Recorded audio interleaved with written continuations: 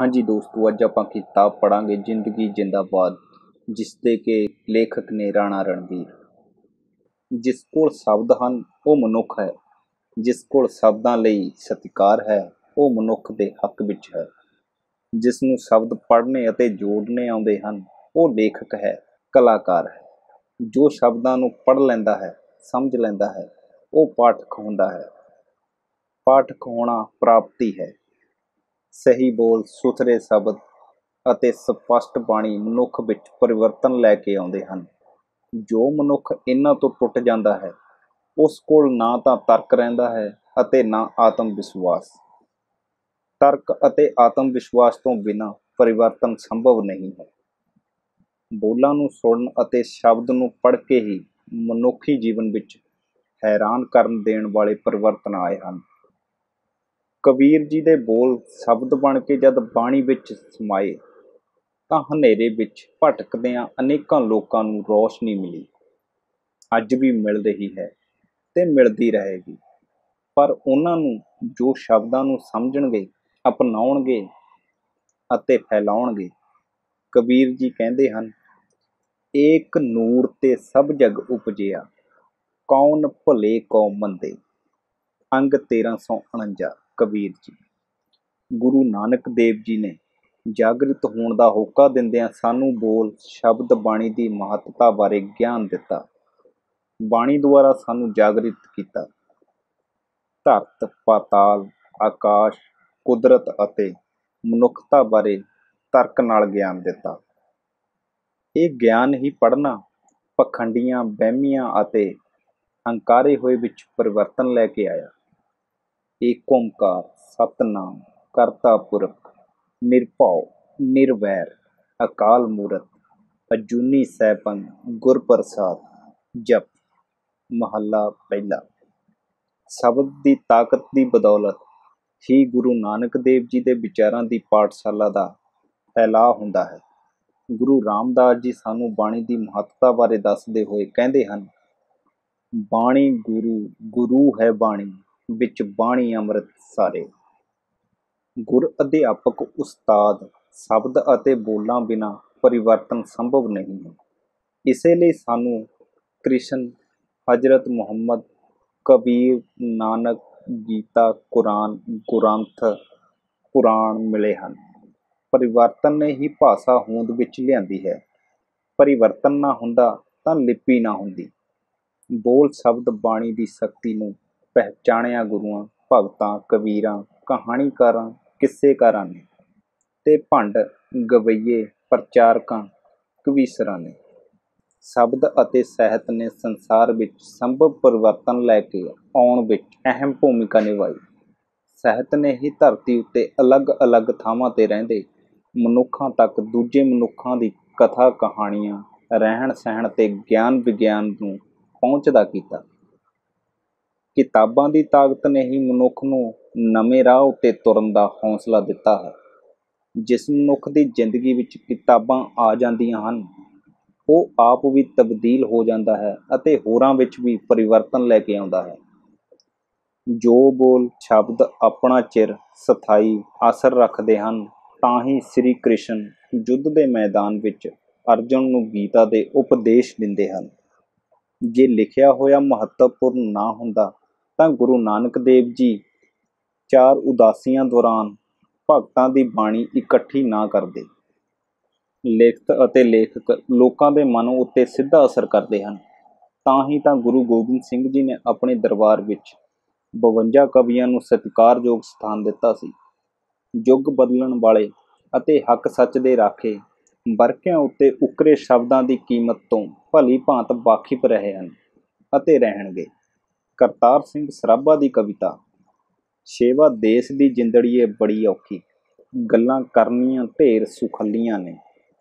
ਅੱਜ ਵੀ ਉਹੀ ਅਸਰ ਨਾਲ ਜੋਸ਼ ਭਰਦੀ ਹੈ, ਜਿਵੇਂ ਆਜ਼ਾਦੀ ਦੀ ਲੜਾਈ ਵੇਲੇ ਭਰਦੀ ਸੀ, ਕਿਤਾਬਾਂ ਭਗਤ ਸਿੰਘ ਦੀ ਜ਼ਿੰਦਗੀ ਵਿੱਚ ਪਰਿਵਰਤਨ ਲੈ ਕੇ ਆਈਆਂ।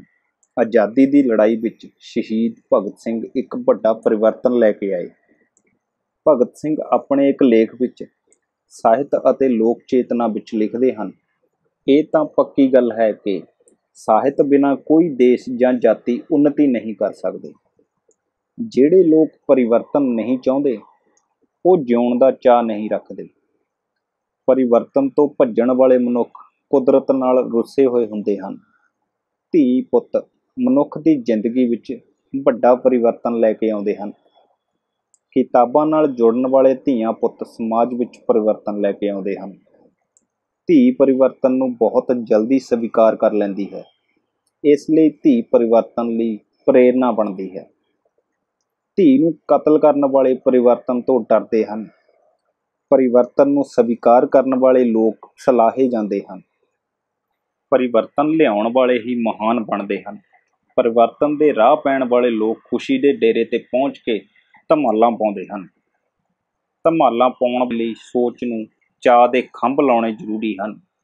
ਸੋਚ ਵਿੱਚ ਪਰਿਵਰਤਨ ਨਾ ਆਉਂਦਾ ਤਾਂ ਅਸੀਂ ਅੱਜ ਵੀ ਜੰਗਲਾਂ ਵਿੱਚ ਹੀ ਹੁੰਦੇ ਸੋਚ ਵਿੱਚ ਪਰਿਵਰਤਨ ਨਾ ਆਉਂਦਾ ਤਾਂ ਭਾਰਤ ਆਜ਼ਾਦ ਨਾ ਹੁੰਦਾ। ਪਰਿਵਰਤਨ ਨੇ ਹੀ ਸਕੂਲ, ਕਾਲਜ, ਹੋਂਦ ਵਿੱਚ ਲਿਆਂਦੇ ਹਨ। ਅੱਜ ਵੀ ਪਰਿਵਰਤਨ ਦੀ ਲੋੜ ਹੈ। ਪਰਿਵਰਤਨ ਹਰ ਵਕਤ ਦੀ ਜ਼ਰੂਰਤ ਹੈ। ਹੈ ਟਾਈਮ ਪਰਿਵਰਤਨ ਲਈ। ਕੀ ਤੁਸੀਂ ਚਾਹੁੰਦੇ ਹੋ ਪਰਿਵਰਤਨ? ਆਪਣੇ ਆਲੇ ਦੁਆਲੇ ਵਿੱਚ ਟੈਨਸ਼ਨ ਦਿੰਦਾ ਹੈ ਨਾ ਆਲਾ ਦੁਆਲਾ ਓਕੇ, ਟੈਨਸ਼ਨ ਨਾ ਲਿਆ ਕਰੋ। ਨਾ ਹੀ ਟੈਨਸ਼ਨ ਦਿਆ ਕਰੋ, ਕਿਉਂਕਿ ਦੋਵੇਂ ਪਾਸੇ ਮਿਲਣਾ ਕੁਝ ਵੀ ਨਹੀਂ। ਗਵਾ ਬਹੁਤ ਕੁਝ ਸਕਦੇ ਹੋ। ਆਪਾਂ ਗਵਾਉਣਾ ਨਹੀਂ, ਪਾਉਣਾ ਹੈ। ਉਹ ਵੀ ਪਿਆਰ ਨਾਲ, ਨਿਸ਼ਚੈ ਨਾਲ, ਠੀਕ ਰਹਿ ਕੇ, ਮਸਤੀ ਵਿੱਚ। ਦਰਅਸਲ ਜੇ ਤੁਸੀਂ ਪਰਿਵਰਤਨ ਚਾਹੁੰਦੇ ਹੋ ਆਲੇ ਦੁਆਲੇ ਵਿੱਚ ਉਹਦੇ ਲਈ ਖੁਦ ਵਿੱਚ ਪਹਿਲਾਂ ਪਰਿਵਰਤਨ ਲਿਆਉਣਾ ਪੈਣਾ ਹੈ ਅਤੇ ਖੁਦ ਨੂੰ ਚੰਗੇ ਵਿਚਾਰ ਨਾਲ ਜੋੜਨਾ ਹੀ ਸਭ ਤੋਂ ਜ਼ਰੂਰੀ ਹੈ। ਹਰ ਬੰਦਾ ਚਾਹੁੰਦਾ ਹੈ ਕਿ ਉਸ ਦੇ ਕਿਰਦਾਰ ਦੀ ਚੰਗੀ ਗੱਲ ਕੀਤੀ ਜਾਵੇ। ਕੌਣ ਨਹੀਂ ਚਾਹੁੰਦਾ ਕਿ ਉਸ ਦੇ ਕਿਰਦਾਰ ਦੀ ਸੋਹਣੀ ਮਿਸਾਲ ਨਾ ਦਿੱਤੀ ਜਾਵੇ? ਅਸੀਂ ਸਭ ਚਾਹੁੰਦੇ ਹਾਂ ਕਿ ਹਰ ਇੱਕ ਦਾ ਕਿਰਦਾਰ ਕੁਦਰਤ ਅਤੇ ਮਨੁੱਖ ਦੇ ਹੱਕ ਵਿੱਚ ਹੋਵੇ। ਇਹ ਹੋਵੇ ਕਿਵੇਂ? ਕਮਜ਼ੋਰ ਹੋਣਾ ਕੋਈ ਪਸੰਦ ਨਹੀਂ ਕਰਦਾ। ਤਾਕਤਵਰ ਹੋਣਾ ਸਭ ਦੀ ਰੀਝ ਹੁੰਦੀ ਹੈ ਤੇ ਹੋਣੀ ਵੀ ਚਾਹੀਦੀ ਹੈ। ਮਨੁੱਖਤਾ ਵਿਰੋਧੀ ਤੇ ਕੁਦਰਤ ਵਿਰੋਧੀ ਤਾਕਤਾਂ ਨੂੰ ਚੰਗਾ ਅਤੇ ਸੋਹਣਾ ਸੋਚਣ ਵਾਲੇ ਕਦੇ ਵੀ ਪਸੰਦ ਨਹੀਂ ਕਰਦੇ। ਤੁਹਾਡਾ ਤੇ ਮੇਰਾ ਸਾਂਝਾ ਸਿਕਵਾ ਹੈ ਕਿ ਸਿਆਸੀ ਤਾਕਤਾਂ ਵਾਲੇ ਆਮ ਜਨਤਾ ਦਾ ਦਰਦ ਨਹੀਂ ਪਹਿਚਾਣਦੇ। ਅੱਜ ਬਹੁਤੀਆਂ ਪਰਿਸਥਿਤੀਆਂ ਉੱਤੇ ਅਸੀਂ ਖੁਦ ਨੂੰ ਕਮਜ਼ੋਰ ਮਹਿਸੂਸ ਕਰਦੇ ਹਾਂ। ਸਭ ਮਨੁੱਖ ਬਰਾਬਰ ਹਨ। ਬਰਾਬਰਤਾ ਦਾ ਅਧਿਕਾਰ ਦਿਓ। ਉਹ ਮੇਰੇ ਬਰਾਬਰ ਦਾ ਨਹੀਂ। ਅਸੀਂ ਉਹਦੇ ਬਰਾਬਰ ਦੇ ਹੋ ਨਹੀਂ ਸਕਦੇ। ਉਹਦੇ ਬਰਾਬਰ ਕੋਈ ਨਹੀਂ ਖੜ ਸਕਦਾ।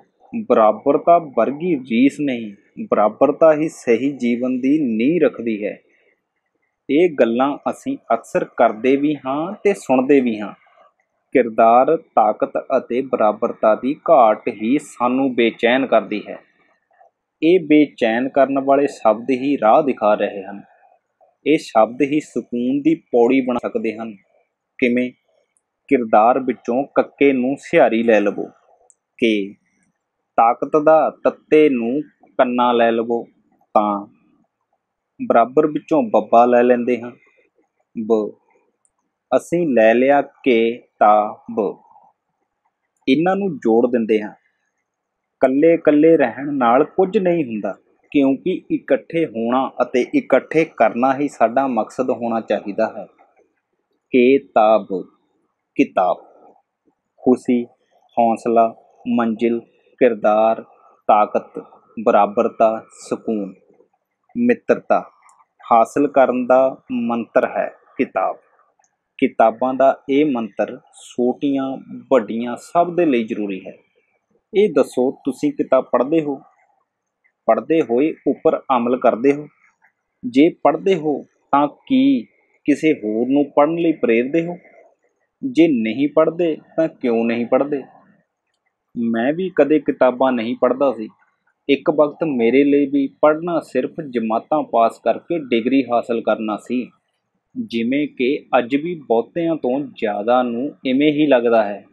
ਮੈਂ ਵੀ ਸੋਚਦਾ ਹੁੰਦਾ ਸੀ ਕਿ ਪੜਨ ਦੀ ਵੀ ਇੱਕ ਨਿਸ਼ਚਿਤ ਉਮਰ ਹੁੰਦੀ ਹੈ। ਸਾਹਿਤ ਜਾਂ ਲਿਟਰੇਚਰ ਕਿਸ ਸਹਿ ਦਾ ਨਾਮ ਹੈ? ਇਹ ਹਮਕੋ ਨਾ ਪਤਾ ਥਾ ਭਾਈ।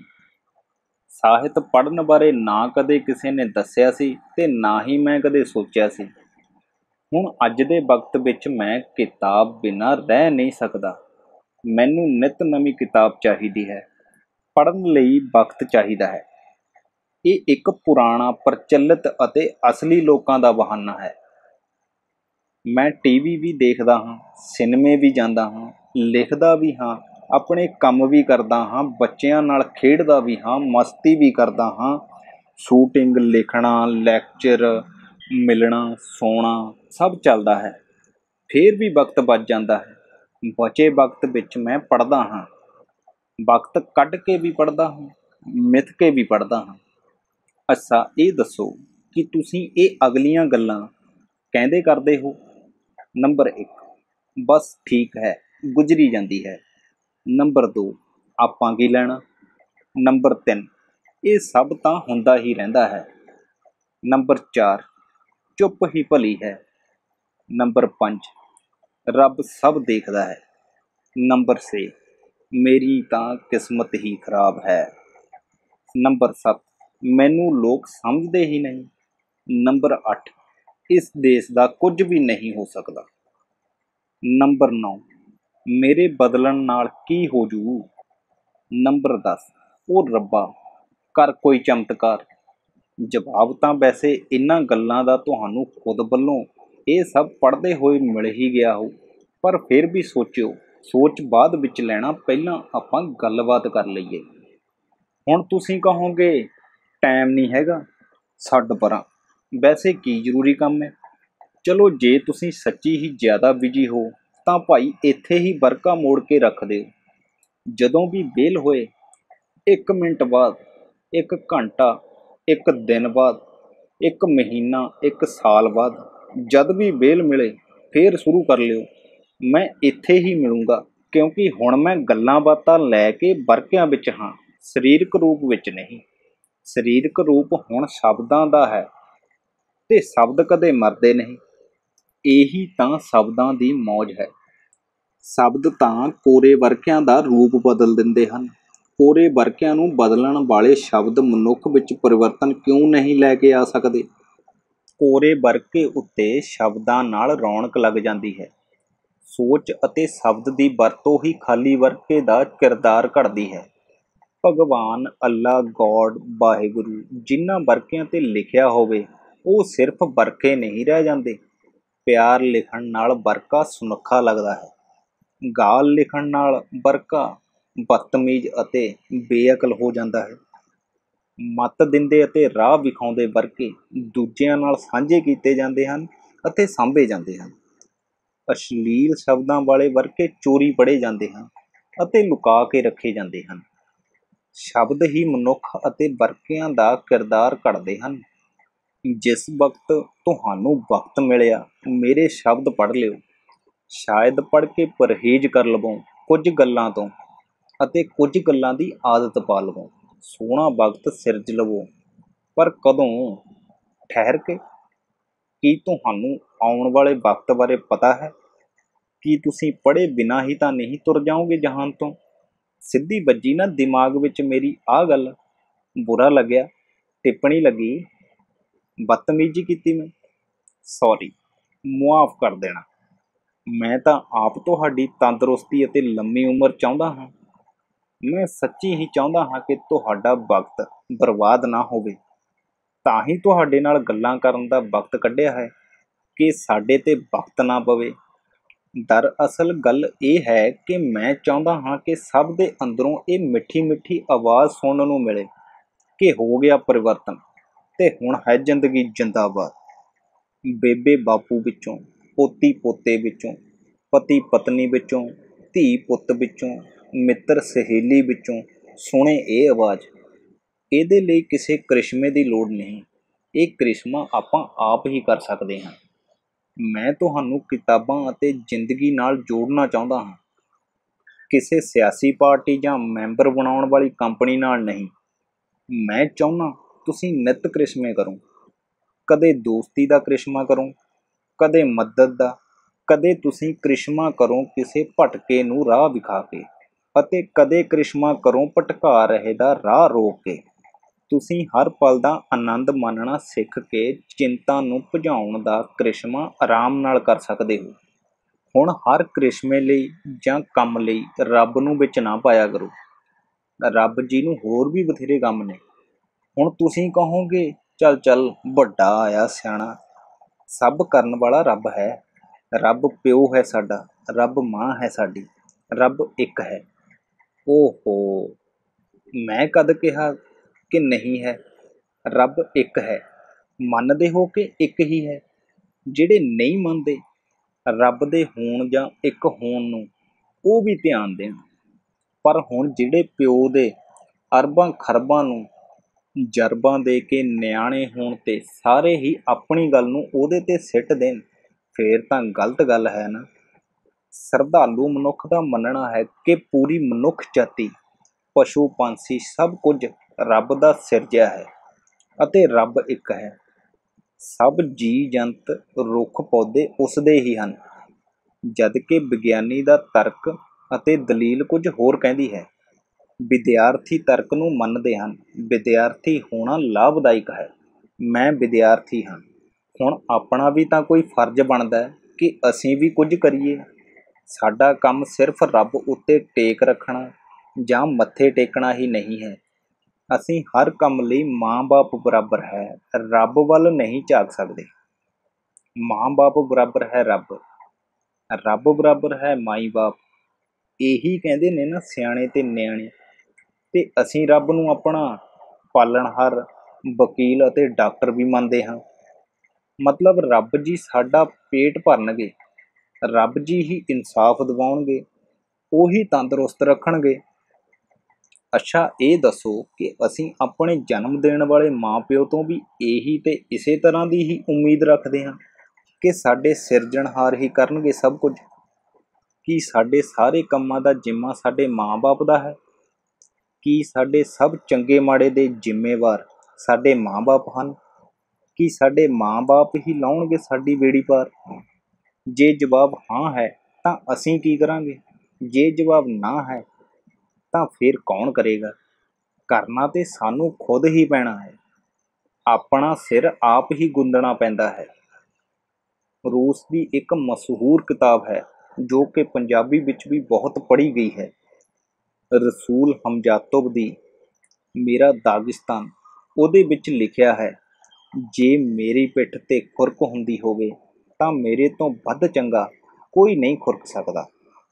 ਕਦੇ ਮੌਕਾ ਮਿਲਿਆ ਤਾਂ ਪੜ੍ਹਿਓ ਇਹ ਕਿਤਾਬ। ਦੁਨੀਆ ਦੇ ਨੇੜੇ ਕਰ ਦਿੰਦੀ ਹੈ ਇਹ ਕਿਤਾਬ। ਕਿਤਾਬ ਦਾ ਕੰਮ ਹੀ ਦੁਨੀਆ ਨਾਲ ਜੋੜਨਾ ਹੁੰਦਾ ਹੈ। ਰੱਬ ਦੇ ਨਾਂ ਤੇ ਦੁਨੀਆ ਨੂੰ ਇੱਕ ਕਰਨ ਦਾ ਕੰਮ ਹੋਣਾ ਚਾਹੀਦਾ ਹੈ। ਦਰਅਸਲ ਅਸੀਂ ਰੱਬ ਨੂੰ ਮੰਨਦੇ ਹਾਂ, ਰੱਬ ਦੀ ਨਹੀਂ ਮੰਨਦੇ। ਅਸੀਂ ਧਰਮ ਨੂੰ ਮੰਨਦੇ ਹਾਂ, ਪਰ ਧਰਮ ਦੀ ਨਹੀਂ ਮੰਨਦੇ। ਅਸੀਂ ਮਹਾਨ ਬੰਦਿਆਂ ਨੂੰ ਪੂਜਦੇ ਹਾਂ, ਉਹਨਾਂ ਦੀ ਮੰਨਦੇ ਨਹੀਂ। ਅਸੀਂ ਉਹ ਵਿਦਿਆਰਥੀ ਹਾਂ ਜੋ ਸਕੂਲ ਤਾਂ ਨਿਤਨੇਮ ਨਾਲ ਜਾਂਦੇ ਹਨ, ਪੜ੍ਹਦੇ ਸੁਣਦੇ ਵੀ ਹਨ, ਪਰ ਸਿੱਖਦੇ ਨਹੀਂ।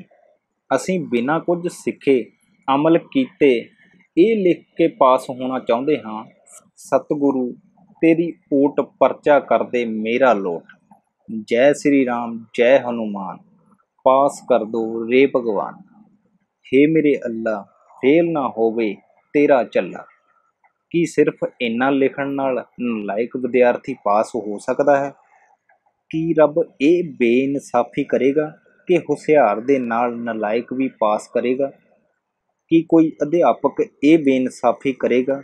ਜੇ ਕਰੇਗਾ, ਤਾਂ ਕੀ ਉਹ ਅਧਿਆਪਕ ਹੈ? ਕੀ ਨਲਾਇਕ ਵਿਦਿਆਰਥੀ ਹੋਣਾ ਚੰਗਾ ਹੈ?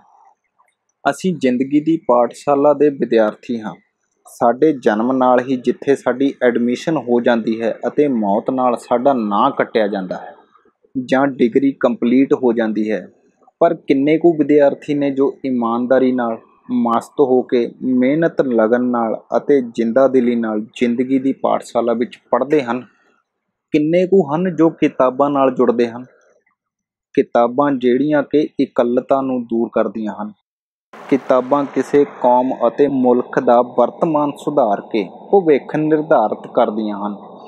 ਕਿਤਾਬਾਂ ਕੀ ਹੋਈਆਂ, ਕਿਉਂ ਹੋਈਆਂ, ਕਦ ਹੋਈਆਂ, ਕੀ ਹੋ ਰਿਹਾ ਹੈ, ਕੀ ਹੋ ਸਕਦਾ ਹੈ ਅਤੇ ਕੀ ਹੋਵੇਗਾ ਬਾਰੇ ਗਿਆਨ ਦਿੰਦੀਆਂ ਹਨ।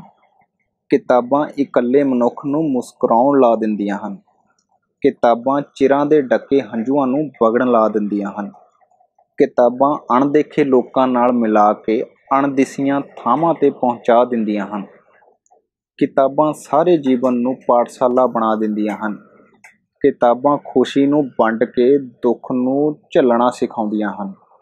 ਚੰਗੀਆਂ ਕਿਤਾਬਾਂ ਉੱਤੇ ਲਾਏ ਪੈਸੇ ਕਦੇ ਵੀ ਵਿਅਰਥ ਨਹੀਂ ਜਾਂਦੇ। ਪੰਜਾਬ ਦਾ ਇੱਕ ਬਹੁਤ ਹੀ ਸੁਚੱਜਾ ਕਲਾਕਾਰ ਅਤੇ ਕਵੀ ਹੈ ਸਵਰਨਜੀਤ ਸਵੀ। ਉਹਦੀ ਇੱਕ ਕਵਿਤਾ ਪੜੋ ਪਹਿਲਾਂ। ਫੇਰ ਅੱਗੇ ਤੁਰਦੇ ਹਾਂ। ਕਿਤਾਬ ਜਾਗਦੀ ਹੈ, ਖਰੀਦ ਰੱਖੋ ਪੜੋ ਨਾ ਪੜੋ ਘਰ ਦੇ ਰੈਕ 'ਚ ਰੱਖੋ ਰੱਖੋ ਤੇ ਭੁੱਲ ਜਾਓ, ਜੇ ਤੁਸੀਂ ਪੜ੍ਹ ਨਹੀਂ ਸਕਦੇ, ਯਾਦ ਰੱਖ ਨਹੀਂ ਸਕਦੇ, ਸੌਣ ਦਿਓ ਕਿਤਾਬਾਂ ਨੂੰ, ਮਹੀਨੇ, ਸਾਲ, ਪੀੜ੍ਹੀ ਦਰ ਪੀੜ੍ਹੀ, ਉਡੀਕ ਕਰੋ, ਜਾਗੇਗੀ ਕਿਤਾਬ, ਕਿਸੇ ਦਿਨ ਕਿਸੇ ਪਲ, ਪੜ੍ਹੇਗਾ ਕੋਈ। ਜਿਸ ਨੇ ਨਹੀਂ ਖਰੀਦਣੀ ਸੀ, ਇਹ ਕਿਤਾਬ। ਸੂਟ ਬੂਟ ਪਰਫਿਊਮ ਖਿਡੌਣੇ, ਟੈਡੀ, ਚਾਕਲੇਟ, ਵਕਤ ਟਪਾਉਣ ਵਾਲੇ ਅਤੇ ਮਨ ਪਰਚਾਉਣ ਵਾਲੇ ਚੰਗੇ ਤੋਹਫੇ ਜਾਂ ਖਰੀਦਦਾਰੀਆਂ ਹਨ, ਪਰ ਜ਼ਿੰਦਗੀ ਬਣਾਉਣ ਵਾਲੀਆਂ ਅਤੇ ਰਾਹ ਲਿਸਕਾਉਣ ਵਾਲੀਆਂ ਕਿਤਾਬਾਂ ਹੀ ਹੁੰਦੀਆਂ ਹਨ। ਜ਼ਿੰਦਗੀ ਦੀ ਪਾਠਸ਼ਾਲਾ ਵਿੱਚ ਕਿਤਾਬਾਂ ਹੀ ਉਸਤਾਦ ਬਣਦੀਆਂ ਹਨ। ਕਿਤਾਬਾਂ ਨਾਲ ਦਿਮਾਗ ਰੌਸ਼ਨ ਹੋ ਜਾਂਦੇ ਹਨ। ਤੇ ਘਰ ਮੁਸਕਰਾਉਣ ਲੱਗ ਜਾਂਦੇ ਹਨ। ਸਾਰੀ ਉਮਰ ਦਿਮਾਗ ਰੌਸ਼ਨ ਰੱਖਣ ਲਈ ਅਤੇ ਮੁਸਕਰਾਉਂਦੇ ਰਹਿਣ ਲਈ ਹਰ ਇੱਕ ਮਨੁੱਖ ਦੀ ਕਿਤਾਬਾਂ ਨਾਲ ਦੋਸਤੀ ਹੋਣੀ ਜ਼ਰੂਰੀ ਹੈ। ਜ਼ਿੰਦਗੀ ਦੀ ਪਾਠਸ਼ਾਲਾ ਨੂੰ ਸਕੂਲ ਦੇ ਬਰਾਬਰ ਰੱਖ ਕੇ ਸਮਝੋ। ਸਰਲ ਹੋ ਜਾਵੇਗਾ ਸਮਝਣਾ। ਮੰਨ ਲਵੋ ਅਸੀਂ ਵਿਦਿਆਰਥੀ ਹਾਂ ਅਤੇ ਜ਼ਿੰਦਗੀ ਪਾਠਸ਼ਾਲਾ। ਪਹਿਚਾਣ ਕਰੋ ਕਿ ਉਹ ਕਿਹੜੇ ਵਿਦਿਆਰਥੀ ਹਨ ਜੋ ਜ਼ਿੰਦਗੀ ਦੀ ਪਾਠਸ਼ਾਲਾ ਵਿੱਚ ਘੱਟ ਪੜ੍ਹਦੇ ਹੋਏ ਵੱਧ ਕਰਤੂਤਾਂ ਕਰਦੇ ਹਨ। ਕੀ ਉਹ ਵਿਦਿਆਰਥੀ ਸਹੀ ਹਨ ਜੋ ਹੋਰ ਵਿਦਿਆਰਥੀਆਂ ਨੂੰ ਆਪਸ ਵਿੱਚ ਲੜਾਉਂਦੇ ਹਨ? ਕੀ ਕੋਈ ਵਿਦਿਆਰਥੀ ਪੜ੍ਹੇ ਬਿਨਾਂ ਪਾਸ ਹੋ ਸਕਦਾ ਹੈ? ਕੀ ਵਿਦਿਆਰਥੀਆਂ ਨੂੰ ਧਰਮ ਉੱਤੇ ਲੜਨਾ ਚਾਹੀਦਾ ਹੈ? ਵਿਦਿਆਰਥੀਆਂ ਨੂੰ ਪਹਿਲਾਂ ਸ਼ਰਾਬ ਦੇ ਠੇਕੇ ਦਾ ਪਤਾ ਹੋਣਾ ਚਾਹੀਦਾ ਹੈ ਜਾਂ ਕਿਤਾਬ ਘਰ ਦਾ? ਵਿਦਿਆਰਥੀ ਦਾ ਪਹਿਲਾ ਬਜਟ ਕਿਤਾਬਾਂ ਲਈ ਹੋਣਾ ਚਾਹੀਦਾ ਹੈ ਜਾਂ ਹੋਰ ਅਯਾਸ਼ੀ ਲਈ? ਵਿਦਿਆਰਥੀ ਨੂੰ ਪਹਿਲੀ ਮਾਤ ਭਾਸ਼ਾ ਦਾ ਗਿਆਨ ਹੋਣਾ ਚਾਹੀਦਾ ਹੈ ਜਾਂ ਬੇਗਾਨੀ ਦਾ? ਇੱਕ ਵਿਦਿਆਰਥੀ ਕਹਿੰਦਾ ਹੈ ਕਿ ਮੈਂ ਮਾਤ ਭਾਸ਼ਾ ਦਾ ਸਤਿਕਾਰ ਕਰਦਾ ਹਾਂ, ਪਰ ਮਾਤ ਭਾਸ਼ਾ ਦੀਆਂ ਕਿਤਾਬਾਂ ਨਹੀਂ ਪੜ੍ਹਦਾ। ਕੀ ਇਹ ਵਿਦਿਆਰਥੀ ਸਤਿਕਾਰ ਕਰਦਾ ਹੈ? ਇਹ ਤਾਂ ਉਹ ਗੱਲ ਹੋਈ ਕਿ ਮੈਂ ਮਾਂ-ਬਾਪ ਦਾ ਸਤਿਕਾਰ ਤਾਂ ਕਰਦਾ ਪਰ ਉਹਨਾਂ ਦੇ ਘਰ ਜਾਣਾ ਪਸੰਦ ਨਹੀਂ ਕਰਦਾ। ਇਹ ਵਿਦਿਆਰਥੀ ਤਾਂ ਫੇਰ ਨਲਾਇਕ ਹੈ। ਇਹ ਵਿਦਿਆਰਥੀ ਅਸੀਂ ਤੁਸੀਂ ਹੀ ਹਾਂ, ਕੋਈ ਹੋਰ ਨਹੀਂ। ਸਵਾਲ ਹੋਰ ਵੀ ਬਹੁਤ ਹੋ ਸਕਦੇ ਨੇ, ਪਰ ਕਹਿਣਾ ਇਹੋ ਹੈ ਕਿ ਜੇ ਅਸੀਂ ਸਕੂਲ ਦੇ ਸੋਹਣੇ ਅਸੂਲ ਜ਼ਿੰਦਗੀ ਵਿੱਚ ਅਪਣਾ ਲਈਏ, ਤਾਂ ਬਹੁਤ ਕੁਝ ਚੰਗਾ ਚੰਗਾ ਵਾਪਰਨਾ ਸ਼ੁਰੂ ਹੋ ਜਾਵੇਗਾ। ਦੋਸਤੀਆਂ ਵੱਧ ਸਕਦੀਆਂ ਹਨ, ਚਿੰਤਾਵਾਂ ਘਟ ਸਕਦੀਆਂ ਹਨ, ਹਉਮੈ ਮਰ ਸਕਦੀ ਹੈ। ਉਮੀਦ ਜਾਗ ਸਕਦੀ ਹੈ। ਈਰਖਾ ਨੇੜੇ ਨਹੀਂ ਆ ਸਕਦੀ। ਲਾਲਚ ਨੇੜੇ ਨਹੀਂ ਆਉਣਾ। ਜ਼ਿੰਦਗੀ ਦੀ ਕੀਮਤ ਦਾ ਪਤਾ ਲੱਗ ਜੂ। ਧਰਮਾਂ ਦੇ ਸੁਨੇਹੇ ਸਮਝ ਆ ਜਾਣਗੇ। ਰੱਬ ਦੀ ਰਮਜ ਸਮਝ ਆ ਜਾਊਗੀ। ਫਿਰ ਜ਼ਿੰਦਗੀ ਜਿੰਦਾਬਾਦ। ਪਰ ਜੇ ਅਸੀਂ ਚੰਗੇ ਵਿਦਿਆਰਥੀ ਬਣ ਜਾਈਏ ਜ਼ਿੰਦਗੀ ਦੀ ਪਾਠਸ਼ਾਲਾ ਦੇ, ਜੇ ਸਾਡੇ ਦੇਸ਼ ਦਾ ਸਿਸਟਮ ਠੀਕ ਹੋ ਜਾਵੇ, ਜੇ ਗੰਦਗੀ ਨਾ ਹੋਵੇ ਜੇ ਨੌਜਵਾਨ ਸੁਧਰ ਜਾਣ, ਜੇ ਰਿਸ਼ਵਤ ਤੋਂ ਬਿਨਾਂ ਕੰਮ ਹੋ ਜਾਣ, ਜੇ ਐਕਸੀਡੈਂਟ ਨਾ ਹੋਣ, ਜੇ ਜਾਤ ਪਾਤ ਨਾ ਹੋਵੇ, ਜੇ ਸਿੰਗਰ ਮਾੜਾ ਨਾ ਗਾਉਣ, ਜੇ ਲੇਖਕ ਚੰਗਾ ਲਿਖਣ, ਜੇ ਕੁੜੀਆਂ ਸੇਫ ਹੋਣ, ਜੇ ਪੁਲਿਸ ਧੱਕਾ ਨਾ ਕਰੇ, ਜੇ ਲੀਡਰ ਕਰਪਟ ਨਾ ਹੋਣ, ਜੇ ਫਿਲਮਾਂ ਸੋਹਣੀਆਂ ਸਾਰਥਿਕ ਬਣਨ, ਜੇ ਉਹ ਹੋਵੇ, ਜੇ ਆ ਹੋਵੇ, ਜੇ ਇਉਂ ਹੋਵੇ, ਜੇ ਇਉਂ ਨਾ ਹੋਵੇ ਸਿਰਫ ਸੋਚਣ ਨਾਲ ਹੀ ਜੇ ਨੇ ਹੱਲ ਨਹੀਂ ਹੋਣਾ। ਜੇ ਰਾਹੀਂ ਸੋਚ ਤਾਂ ਸੋਹਣੀ ਪੈਦਾ ਹੋ ਰਹੀ ਹੈ, ਪਰ ਇਹ ਜੇ ਵਾਲੀ ਸੋਚ ਨੂੰ ਸੰਭਾਲ ਕੇ ਹੱਲ ਨਹੀਂ ਕੀਤਾ ਜਾ ਸਕਦਾ। ਇਹ ਜੇ ਵਾਲੇ ਸਵਾਲ ਅਤੇ ਇੱਛਾਵਾਂ ਨੂੰ ਲਾਗੂ ਕਰਨ ਲਈ ਜਾਂ ਸੱਚ ਹੁੰਦਾ ਵੇਖਣ ਲਈ ਮੈਂ ਅਤੇ ਤੁਸੀਂ ਕੀ ਯਤਨ ਕਰ ਰਹੇ ਹੋ? ਕੀ ਅਸੀਂ ਇਹ ਕਹਿ ਕੇ ਪਾਸਾ ਤਾਂ ਨਹੀਂ ਵੱਟ ਰਹੇ ਕਿ ਮੇਰੇ ਇਕੱਲੇ ਦੇ ਕਰਨ ਨਾਲ ਕੀ ਹੋ ਜਾਵੇਗਾ? ਜੇ ਪਹਿਲੇ ਸਵਾਲ ਦਾ ਜਵਾਬ ਨਾ ਹੈ ਤੇ ਦੂਜੇ ਦਾ ਹਾਂ, ਤਾਂ ਫੇਰ ਵਿਚਾਰਨ ਦੀ ਲੋੜ ਹੈ। ਸ਼ੀਸ਼ੇ ਅੱਗੇ ਖੜੇ ਹੋ ਕੇ ਖੁਦ ਨੂੰ ਇਹ ਸਵਾਲ ਪੁੱਛਣੇ ਪੈਣੇ ਹਨ। ਕੀ ਗੱਲ ਜੇ ਵਾਲੇ ਸਵਾਲ ਖੜੇ ਕਰਨ ਦਾ ਹੀ ਚਾਹ ਹੈ? ਆਪ ਨਹੀਂ ਕਰਨਾ ਕੁਝ? ਸਾਰਾ ਕੁਝ ਆਪ ਕਰਨਾ ਪੈਣਾ ਹੈ। ਬੈਠੇ ਬਿਠਾਏ ਸਾਰਾ ਕੁਝ ਬਿਮਾਰਾਂ ਅਤੇ ਲਾਚਾਰਾਂ ਨੂੰ ਮਿਲਦਾ ਹੈ। ਕੀ ਤੁਸੀਂ ਬਿਮਾਰ ਅਤੇ ਲਾਚਾਰ ਕਹਾਉਣਾ ਪਸੰਦ ਕਰੋਗੇ? ਬਿਮਾਰੀ ਅਤੇ ਲਾਚਾਰੀ ਨੂੰ ਦੂਰ ਕਰਨ ਵਾਲੇ ਲੋਕਾਂ ਨੂੰ ਅੱਗੇ ਵਧਣ ਤੋਂ ਕੋਈ ਨਹੀਂ ਰੋਕ ਸਕਦਾ। ਜਿਹੜੇ ਆਪਣੀ ਜੇ ਨੂੰ ਹੱਲ ਕਰਕੇ ਉਹਨੂੰ ਹੁਣ ਸਭ ਸਹੀ ਹੈ, ਹੁਣ ਸਹੀ ਕਰ ਹੀ ਲੈਣਾ ਹੈ, ਹੁਣ ਕੁਝ ਗਲਤ ਨਹੀਂ ਸਹਿਣਾ ਅਤੇ ਹੁਣ ਕੁਝ ਗਲਤ ਨਹੀਂ ਹੈ ਦੇ ਖੰਭ ਲਾ ਦਿੰਦੇ ਹਨ। ਉਹ ਵਰਤਮਾਨ ਦੇ ਬਾਦਸ਼ਾਹ ਅਤੇ ਭਵਿੱਖ ਦੇ ਰਹਿਨੁਮਾ ਹੁੰਦੇ ਹਨ। ਜੇ ਜੇਕਰ ਅਤੇ ਕਾਸ਼ ਉਹਨਾਂ ਕੋਲ ਕਦੇ ਨਹੀਂ ਹੁੰਦੀ ਜੋ ਜਿੱਤ ਦੇ ਝੰਡੇ ਲਹਿਰਾਉਂਦੇ ਹਨ। ਸੁਣਿਆ ਅਤੇ ਪੜਿਆ ਤਾਂ ਖੈਰ ਤੁਸੀਂ ਪਹਿਲਾਂ ਵੀ ਹੋ ਕਿ ਵਕਤ ਕੀਮਤੀ ਹੈ। ਲੰਘਿਆ ਵੇਲਾ ਵਾਪਸ ਨਹੀਂ ਆਉਂਦਾ। ਮੈਂ ਵੀ ਕਹਿ ਰਿਹਾ ਕਿ ਹਰ ਪਲ ਕੀਮਤੀ ਹੈ। ਸੁਸਤੀ ਨਾ ਪਾਓ। ਆਉਣ ਵਾਲੇ ਵਕਤ ਦਾ ਪਤਾ ਨਹੀਂ ਤੇ ਗਏ ਵਕਤ ਨੇ ਆਉਣਾ ਨਹੀਂ। ਮੈਂ ਵੀ ਕਦੇ ਆਪ ਵਾਂਗ ਸੁਣ ਕੇ ਪੜ ਕੇ ਸਾਰ ਦਿੰਦਾ ਸੀ, ਪਰ ਅਮਲ ਨਹੀਂ ਕਰਦਾ ਸੀ। ਬਹੁਤ ਵਕਤ ਗਵਾਇਆ ਹੈ, ਪਰ ਹੁਣ ਨਹੀਂ ਗਵਾਉਣਾ। ਵਕਤ ਗਵਾਉਣ ਦੀ ਆਦਤ ਹੀ ਸਾਡੇ ਤੋਂ ਕਹਾਉਂਦੀ ਹੈ ਕਿ ਬਸ ਗੁਜ਼ਰੀ ਜਾਂਦੀ ਹੈ। ਸਿਰਫ ਗੁਜ਼ਰੋ ਨਾ ਨਾ ਨਾ ਹੰਡਾਓ ਜ਼ਿੰਦਗੀ ਬਿਤਾਉਣ ਅਤੇ ਗੁਜ਼ਰਨ ਲਈ ਨਹੀਂ ਮਿਲਦੀ, ਇਹ ਹੰਡਾਉਣ ਨੂੰ ਮਿਲਦੀ ਹੈ। ਉਦਾਸ ਹੋ ਕੇ, ਦੁੱਖ ਤਕਲੀਫਾਂ ਤੋਂ ਅੱਕ ਕੇ ਕੁਝ ਨਾ ਮਿਲਣ ਕਰਕੇ, ਕੁਝ ਦੇਰੀ ਨਾ ਮਿਲਣ ਕਰਕੇ ਹਾਰ ਮੰਨ ਲੈਣਾ ਜਾਂ ਸਿਰਫ ਗੁਜ਼ਾਰਨ ਜਿਹੀ ਲੱਗ ਜਾਣਾ ਜ਼ਿੰਦਗੀ। ਇਹ ਨਾ ਧਰਮ ਹੈ, ਨਾ ਇਹ ਬੰਦਗੀ ਹੈ। ਅਸੀਂ ਜਿਨ੍ਹਾਂ ਅੱਗੇ ਸਿਰ ਝੁਕਾਉਂਦੇ ਹਾਂ ਜਿਨ੍ਹਾਂ ਦੇ ਨਾਮ ਮਾਣ ਨਾਲ ਲੈਂਦੇ ਹਾਂ ਜਿਨ੍ਹਾਂ ਦੀਆਂ ਕਹਾਣੀਆਂ ਅਤੇ ਕਥਾਵਾਂ ਸਾਨੂੰ ਪ੍ਰੇਰਦੀਆਂ ਹਨ, ਕਿ ਉਹਨਾਂ ਨੂੰ ਜੀਵਨ ਵਿੱਚ ਸਭ ਕੁਝ ਸਹੀ ਮਿਲਿਆ ਸੀ? ਕਿ ਉਹਨਾਂ ਨੇ ਕੋਈ ਤਕਲੀਫ ਜਾਂ ਤੰਗੀ ਨਹੀਂ ਚੱਲੀ? ਕਿ ਮਹਾਪੁਰਖਾਂ, ਫਕੀਰਾਂ, ਗੁਰੂਆਂ, ਪੀਰਾਂ, ਸ਼ਹੀਦਾਂ ਨੇ ਆਪਣੇ ਸੁੱਖ ਚੈਨ ਜਾਂ ਸਕੇ ਸੰਬੰਧੀ ਨਹੀਂ ਗਵਾਏ? ਜੇ ਉਹ ਵੀ ਸਾਡੇ ਵਾਂਗ ਸੋਚਦੇ, ਜੇ ਉਹ ਵੀ ਗੁਜ਼ਾਰ ਲੈਂਦੇ ਫੇਰ, ਜੇ ਉਹ ਵੀ ਸੋਚ ਲੈਂਦੇ ਕਿ ਚਲੋ ਬਸ ਗੁਜ਼ਰੀ ਜਾਂਦੀ ਹੈ ਫੇਰ, ਪੈਦਾ ਤਾਂ ਉਹ ਵੀ ਮਾਂ ਦੇ ਗਰਭ ਵਿੱਚੋਂ ਹੀ ਹੋਏ ਸਨ। ਉਹ ਵੀ ਆਪਣੀ ਸੋਚ ਕਰਕੇ, ਆਪਣੇ ਕਾਰਜਾਂ ਕਰਕੇ, ਹਿੰਮਤ ਦਲੇਰੀ ਕਰਕੇ, ਜਿੰਦਾ ਦਿਲੀ ਕਰਕੇ ਮਹਾਨ ਹੋਏ। ਜ਼ਿੰਦਗੀ ਦੇ ਆਸ਼ਿਕ ਹੁੰਦੇ ਹਨ ਮਹਾਨ ਲੋਕ।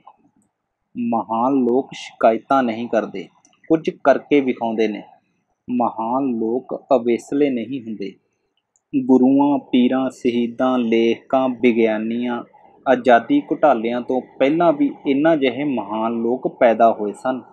ਜੇ ਉਹ ਇਹ ਸੋਚ ਕੇ ਬਹਿ ਜਾਂਦੇ ਕਿ ਅਸੀਂ ਮਹਾਨ ਨਹੀਂ ਹਾਂ, ਅਸੀਂ ਨਹੀਂ ਕੁਝ ਕਰ ਸਕਦੇ, ਜੇ ਕੁਝ ਵਿਗਿਆਨੀਆਂ ਤੋਂ ਬਾਅਦ ਦੂਜੇ ਵਿਗਿਆਨੀ ਖੋਜਾਂ ਨਾ ਕਰਦੇ, ਜੇ ਖੋਜਾਂ ਦਾ ਸਿਲਸਿਲਾ ਜਾਰੀ ਨਾ ਰਹਿੰਦਾ, ਤਾਂ ਕੀ ਅਸੀਂ ਅੱਜ ਦੀ ਸੁੱਖ ਸਹੂਲਤ ਮਾਣ ਸਕਦੇ? ਜੇ ਮੁਗਲਾਂ ਖਿਲਾਫ ਕੁਝ ਕੁ ਹੀ ਮਹਾਨ ਲੜਦੇ, ਕੀ ਅੰਗਰੇਜ਼ਾਂ ਖਿਲਾਫ ਸਿਰਫ ਕੁਝ ਕੁ ਹੀ ਲੜੇ ਸਨ? ਜੇ ਬਾਕੀ ਜੁਝਾਰੂ ਆਵਾਜ਼ ਨਾ ਉਠਾਉਂਦੇ ਤਾਂ ਕੀ ਅੰਗਰੇਜ਼ ਭਾਰਤ ਛੱਡ ਕੇ ਜਾਂਦੇ? ਮਹਾਨ ਲੋਕ ਜ਼ਿੰਦਗੀ ਹੰਡਾਉਂਦੇ ਨੇ, ਗੁਜ਼ਾਰਦੇ ਨਹੀਂ। ਮਹਾਨ ਲੋਕ ਕਦੇ ਮਹਾਨ ਅਖਵਾਉਣ ਜਾਂ ਪੂਜਾ ਕਰਾਉਣ ਲਈ ਕੰਮ ਨਹੀਂ ਕਰਦੇ। ਮਹਾਨ ਲੋਕਾਂ ਨੂੰ ਇਹ ਨਹੀਂ ਹੁੰਦਾ ਕਿ ਅਸੀਂ ਮਹਾਨ ਹਾਂ। ਉਹ ਸਿਰਫ ਇੰਨਾ ਜਾਣਦੇ ਹੁੰਦੇ ਨੇ, ਔਖੇ ਅਤੇ ਵੱਖਰੇ ਕੰਮ ਮਨੁੱਖ ਨੇ ਹੀ ਕਰਨੇ ਹਨ। ਮਨੁੱਖ ਹੀ ਕਰ ਸਕਦਾ ਹੈ। ਸੋ ਉਹ ਕਰਦੇ ਹਨ ਅਤੇ ਮਹਾਨ ਹੋ ਜਾਂਦੇ ਹਨ।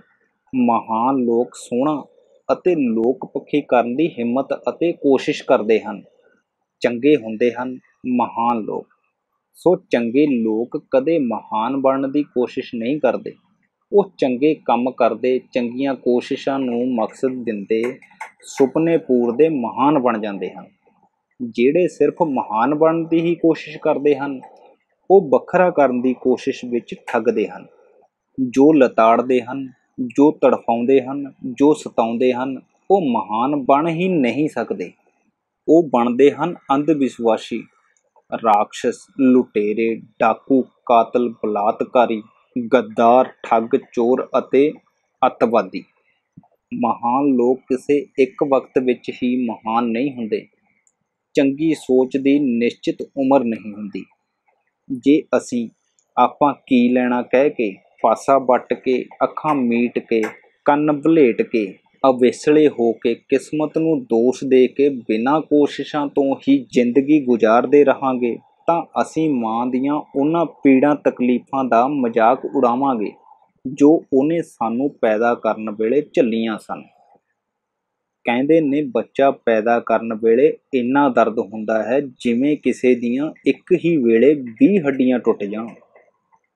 ਜੇ ਮਾਂ-ਬਾਪ ਸੋਚ ਲੈਂਦੇ ਕਿ ਆਪਾਂ ਕੀ ਲੈਣਾ ਹੈ ਬੱਚੇ ਦੀ ਸਾਂਭ ਸੰਭਾਲ ਕਰਕੇ, ਇਹਨੂੰ ਪਿਆਰ ਦੁਲਾਰ ਕਰਕੇ, ਮਾਂ ਸੋਚ ਲੈ ਕਿ ਮੈਂ ਕੀ ਕਰਨਾ ਹੈ ਰਸੋਈ ਦਾ ਕੰਮ ਕਰਕੇ, ਪਿਓ ਸੋਚ ਲਵੇ ਕਿ ਮੈਂ ਕੀ ਲੈਣਾ ਹੈ, ਪਰਿਵਾਰ ਪਾਲ ਕੇ ਜੇ ਅਧਿਆਪਕ ਸੋਚ ਲੈਣ ਕਿ ਤਨਖਾਹ ਨਾਲ ਗੁਜ਼ਰੀ ਤਾਂ ਜਾਂਦੀ ਹੈ ਜ਼ਿੰਦਗੀ, ਮੈਂ ਕੀ ਲੈਣਾ ਹੈ ਪੜ੍ਹਾ ਕੇ?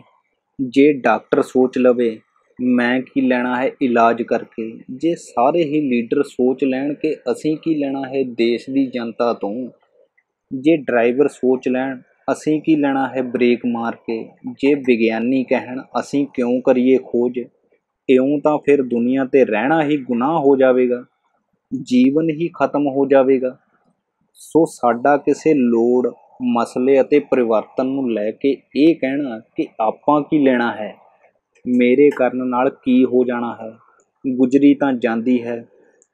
ਇਹ ਨਾ ਮੁਖੀ ਸੋਚ ਕਿਸੇ ਵੀ ਤਰੀਕੇ ਨਾਲ ਜਾਇਜ਼ ਨਹੀਂ। ਕਬੂਤਰ ਬਿੱਲੀ ਨੂੰ ਵੇਖ ਕੇ ਅੱਖਾਂ ਮੀਟ ਸਕਦਾ ਹੈ। ਅਸੀਂ ਨਹੀਂ। ਬੀਨ ਦਾ ਅਸਰ ਮੱਝ ਉੱਤੇ ਨਹੀਂ ਹੁੰਦਾ ਹੋਣਾ। ਪਰ ਅਸੀਂ ਜਨੌਰ ਜਾਂ ਜਾਨਵਰ ਨਹੀਂ, ਮਨੁੱਖ ਹਾਂ। ਮਨੁੱਖ ਕੁਦਰਤ ਦੀ ਸਭ ਤੋਂ ਵੱਡੀ ਰਚਨਾ ਹੈ। ਅੱਖਾਂ ਮੀਟਣ ਵਾਲਾ ਕਬੂਤਰ ਬਚਦਾ ਨਹੀਂ ਹੈ। ਬਿੱਲੀ ਉਸ ਨੂੰ ਧੌਣ ਤੋਂ ਫੜ ਕੇ ਖਤਮ ਕਰ ਦਿੰਦੀ ਹੈ। ਅਸੀਂ ਆਪਣੀ ਧੌਣ ਕਿਸੇ ਵੀ ਬਿੱਲੀ ਦੇ ਹੱਥ ਨਹੀਂ ਆਉਣ ਦੇਣੀ। ਜਾਂ ਹੈ ਇਰਾਦਾ? ਕਿਤੇ ਇਹ ਤਾਂ ਨਹੀਂ ਕਿ ਬਿੱਲੀ ਖਤਮ ਕਰਦੀ ਹੈ ਤਾਂ ਕਰ ਦੇਵੇ, ਆਪਾਂ ਕੀ ਲੈਣਾ ਹੈ? ਇਉਂ ਤਾਂ ਫਿਰ ਜਿਉਂ ਹੀ ਨਹੀਂ ਹੋਣਾ। ਇਉਂ ਤਾਂ ਹਾਲਾਤ ਅਤੇ ਲੋਕ ਸਾਡਾ ਮਜ਼ਾਕ ਉਡਾ ਕੇ ਮਜ਼ੇ ਲੈਣਗੇ। ਲੋਕ ਗੋਡੇ ਟੇਕ ਕੇ ਬੈਠਣ ਵਾਲੇ ਦੇ ਮੋਢਿਆਂ ਉੱਤੇ ਹੀ ਚੜ੍ਹਦੇ ਹਨ। ਗਿਰ ਗਏ ਨੂੰ ਹੀ ਠੇਡੇ ਵੱਜਦੇ ਹਨ। ਡਰਨ ਵਾਲੇ ਨੂੰ ਹੀ ਡਰਾਇਆ ਜਾਂਦਾ ਹੈ। ਜਿਸ ਨੇ ਇਹ ਸੋਚ ਲਿਆ ਕਿ ਮੈਂ ਕੀ ਲੈਣਾ ਹੈ, ਉਹਨੂੰ ਮਿਲਣਾ ਵੀ ਫਿਰ ਕੀ ਹੈ? ਜਿਸ ਨੇ ਕਹਿ ਹੀ ਦਿੱਤਾ ਕਿ ਬਸ ਗੁਜ਼ਰੀ ਜਾਂਦੀ ਹੈ, ਉਹ ਕੀ ਹੰਡਾਵੇਗਾ ਜ਼ਿੰਦਗੀ ਨੂੰ? ਜ਼ਿੰਦਗੀ ਪ੍ਰਤੀ ਨਾਮੁਖੀ ਵਤੀਰਾ ਗੱਦਾਰੀ ਹੈ। ਖੁਦ ਨੂੰ ਨਿਰਾਸ਼ ਰੱਖਣਾ ਗੱਦਾਰੀ ਹੈ। ਬਿਨਾਂ ਉਤਸ਼ਾਹ ਦੇ ਜੀਵਨ ਜਿਉਣਾ ਗੱਦਾਰੀ ਹੈ। ਦਿਖਦਾ ਹੋਣ ਦੀ ਸਮਰੱਥਾ ਦੇ ਬਾਵਜੂਦ ਨਾ ਦੇਖਣਾ ਗੱਦਾਰੀ ਹੈ। ਸਾਹ ਚੱਲਦੇ ਹੋਣ ਤੇ ਜੀਵਨ ਦਾ ਲੁਤਫ ਨਾ ਲਿਆ ਜਾਵੇ, ਇਹ ਤਾਂ ਗੱਦਾਰੀ ਹੈ। ਪੜ੍ਹੇ ਲਿਖੇ ਹੋਣ ਦੇ ਬਾਵਜੂਦ ਨਾ ਪੜ੍ਹਨਾ ਗੱਦਾਰੀ ਹੈ। ਜੁਵਾਨ ਹੋਵੇ ਤਾਂ ਬੰਦਾ ਬੋਲੇ ਨਾ ਇਹ ਤਾਂ ਗੱਦਾਰੀ ਹੈ। ਵਕਤ ਖੁੱਲਾ ਹੋਵੇ ਅਤੇ ਆਪਣਿਆਂ ਨੂੰ ਕਹੇ, ਮੈਂ ਤਾਂ ਬਿਜ਼ੀ ਹਾਂ। ਇਹ ਤਾਂ ਗੱਦਾਰੀ ਹੈ। ਗੱਦਾਰ ਤਾਂ ਉਹ ਵੀ ਹੈ ਜੋ ਘਰ ਵਿੱਚ ਵਿਹਲਾ ਅਤੇ ਮੌਜੂਦ ਹੋਣ ਦੇ ਬਾਵਜੂਦ ਬੱਚਿਆਂ ਨੂੰ ਵਕਤ ਨਹੀਂ ਦਿੰਦਾ। ਨਰਿੰਦਰ ਸਿੰਘ ਕਪੂਰ ਜੀ ਆਪਣੀ ਕਿਤਾਬ ਬੂਹੇ ਬਾਰੀਆਂ ਵਿੱਚ ਲਿਖਦੇ ਹਨ, ਬੋਲਣ ਦੀ ਅਤ ਲੋੜ ਸਮੇਂ ਜਿਹੜਾ ਮਿੱਤਰ ਚੁੱਪ ਸਾਧ ਲਵੇ, ਉਹ ਗੱਦਾਰ ਹੁੰਦਾ ਹੈ। ਗੱਦਾਰ ਵਿਅਕਤੀ ਦੀ ਆਤਮਾ ਮਰ ਚੁੱਕੀ ਹੁੰਦੀ ਹੈ। ਗੱਦਾਰ ਭਾਵੇਂ ਕਿੰਨਾ ਵੀ ਪੜ੍ਹੇ ਲਿਖੇ ਹੋਣ, ਉਹਨਾਂ ਇਤਿਹਾਸ ਨਹੀਂ ਪੜ੍ਹਿਆ ਹੁੰਦਾ। ਗੱਦਾਰ ਨੂੰ ਗੱਦਾਰੀ ਕਰਨ ਲਈ ਕਿਹਾ ਨਹੀਂ ਜਾਂਦਾ। ਉਹ ਗੱਦਾਰੀ ਦਾ ਕਾਰਜ ਨਿਭਾਉਣ ਲਈ ਖੁਦ ਨੂੰ ਪੇਸ਼ ਕਰਦਾ ਹੈ। ਆਪਾਂ ਨੇ ਇਮਾਨਦਾਰ ਹੋ ਕੇ ਜ਼ਿੰਦਗੀ ਤੋਂ ਬਹੁਤ ਕੁਝ ਲੈਣਾ ਹੈ। ਲੈਣ ਵਾਲੇ ਨੂੰ ਦੇਣਾ ਵੀ ਹੈ। ਫਰਜ਼ਾਂ ਤੋਂ ਤਾਂ ਪਸ਼ੂ ਨਹੀਂ ਮੁਨਕਰ ਹੁੰਦੇ। ਫਰਜ਼ਾਂ ਤੋਂ ਤਾਂ ਕੁਦਰਤ ਨਹੀਂ ਮੁਨਕਰ ਹੁੰਦੀ। ਮਨੁੱਖ ਨੂੰ ਤਾਂ ਫਰਜ਼ਾਂ ਪ੍ਰਤੀ ਸੁਚੇਤ ਰਹਿਣ ਲਈ ਦਿਮਾਗ ਮਿਲਿਆ ਹੈ, ਜ਼ੁਬਾਨ ਮਿਲੀ ਹੈ। ਜ਼ੁਬਾਨ ਨਹੀਂ ਤਾਂ ਇਸ਼ਾਰੇ ਹਨ, ਵਿਦਰੋਹ ਹੈ ਸਾਡੇ ਕੋਲ, ਨਾਰੇ ਹਨ ਸਾਡੇ ਕੋਲ, ਜਸ਼ਨ ਹਨ ਸਾਡੇ ਕੋਲ, ਹੁਲਾਰੇ ਹਨ ਸਾਡੇ ਕੋਲ। ਸਾਡੇ ਕੋਲ ਗੀਤ ਹੈ, ਸੰਗੀਤ ਹੈ, ਪ੍ਰੀਤ ਹੈ। ਉਹ ਕੁਝ ਹੈ ਸਾਡੇ ਆਲੇ ਦੁਆਲੇ ਜੋ ਸਾਡਾ ਧਿਆਨ ਮੰਗਦਾ ਹੈ। ਸਾਡੇ ਆਸੇ-ਪਾਸੇ ਕੀ ਹੋ ਰਿਹਾ ਹੈ? ਕਿਉਂ ਹੋ ਰਿਹਾ ਹੈ?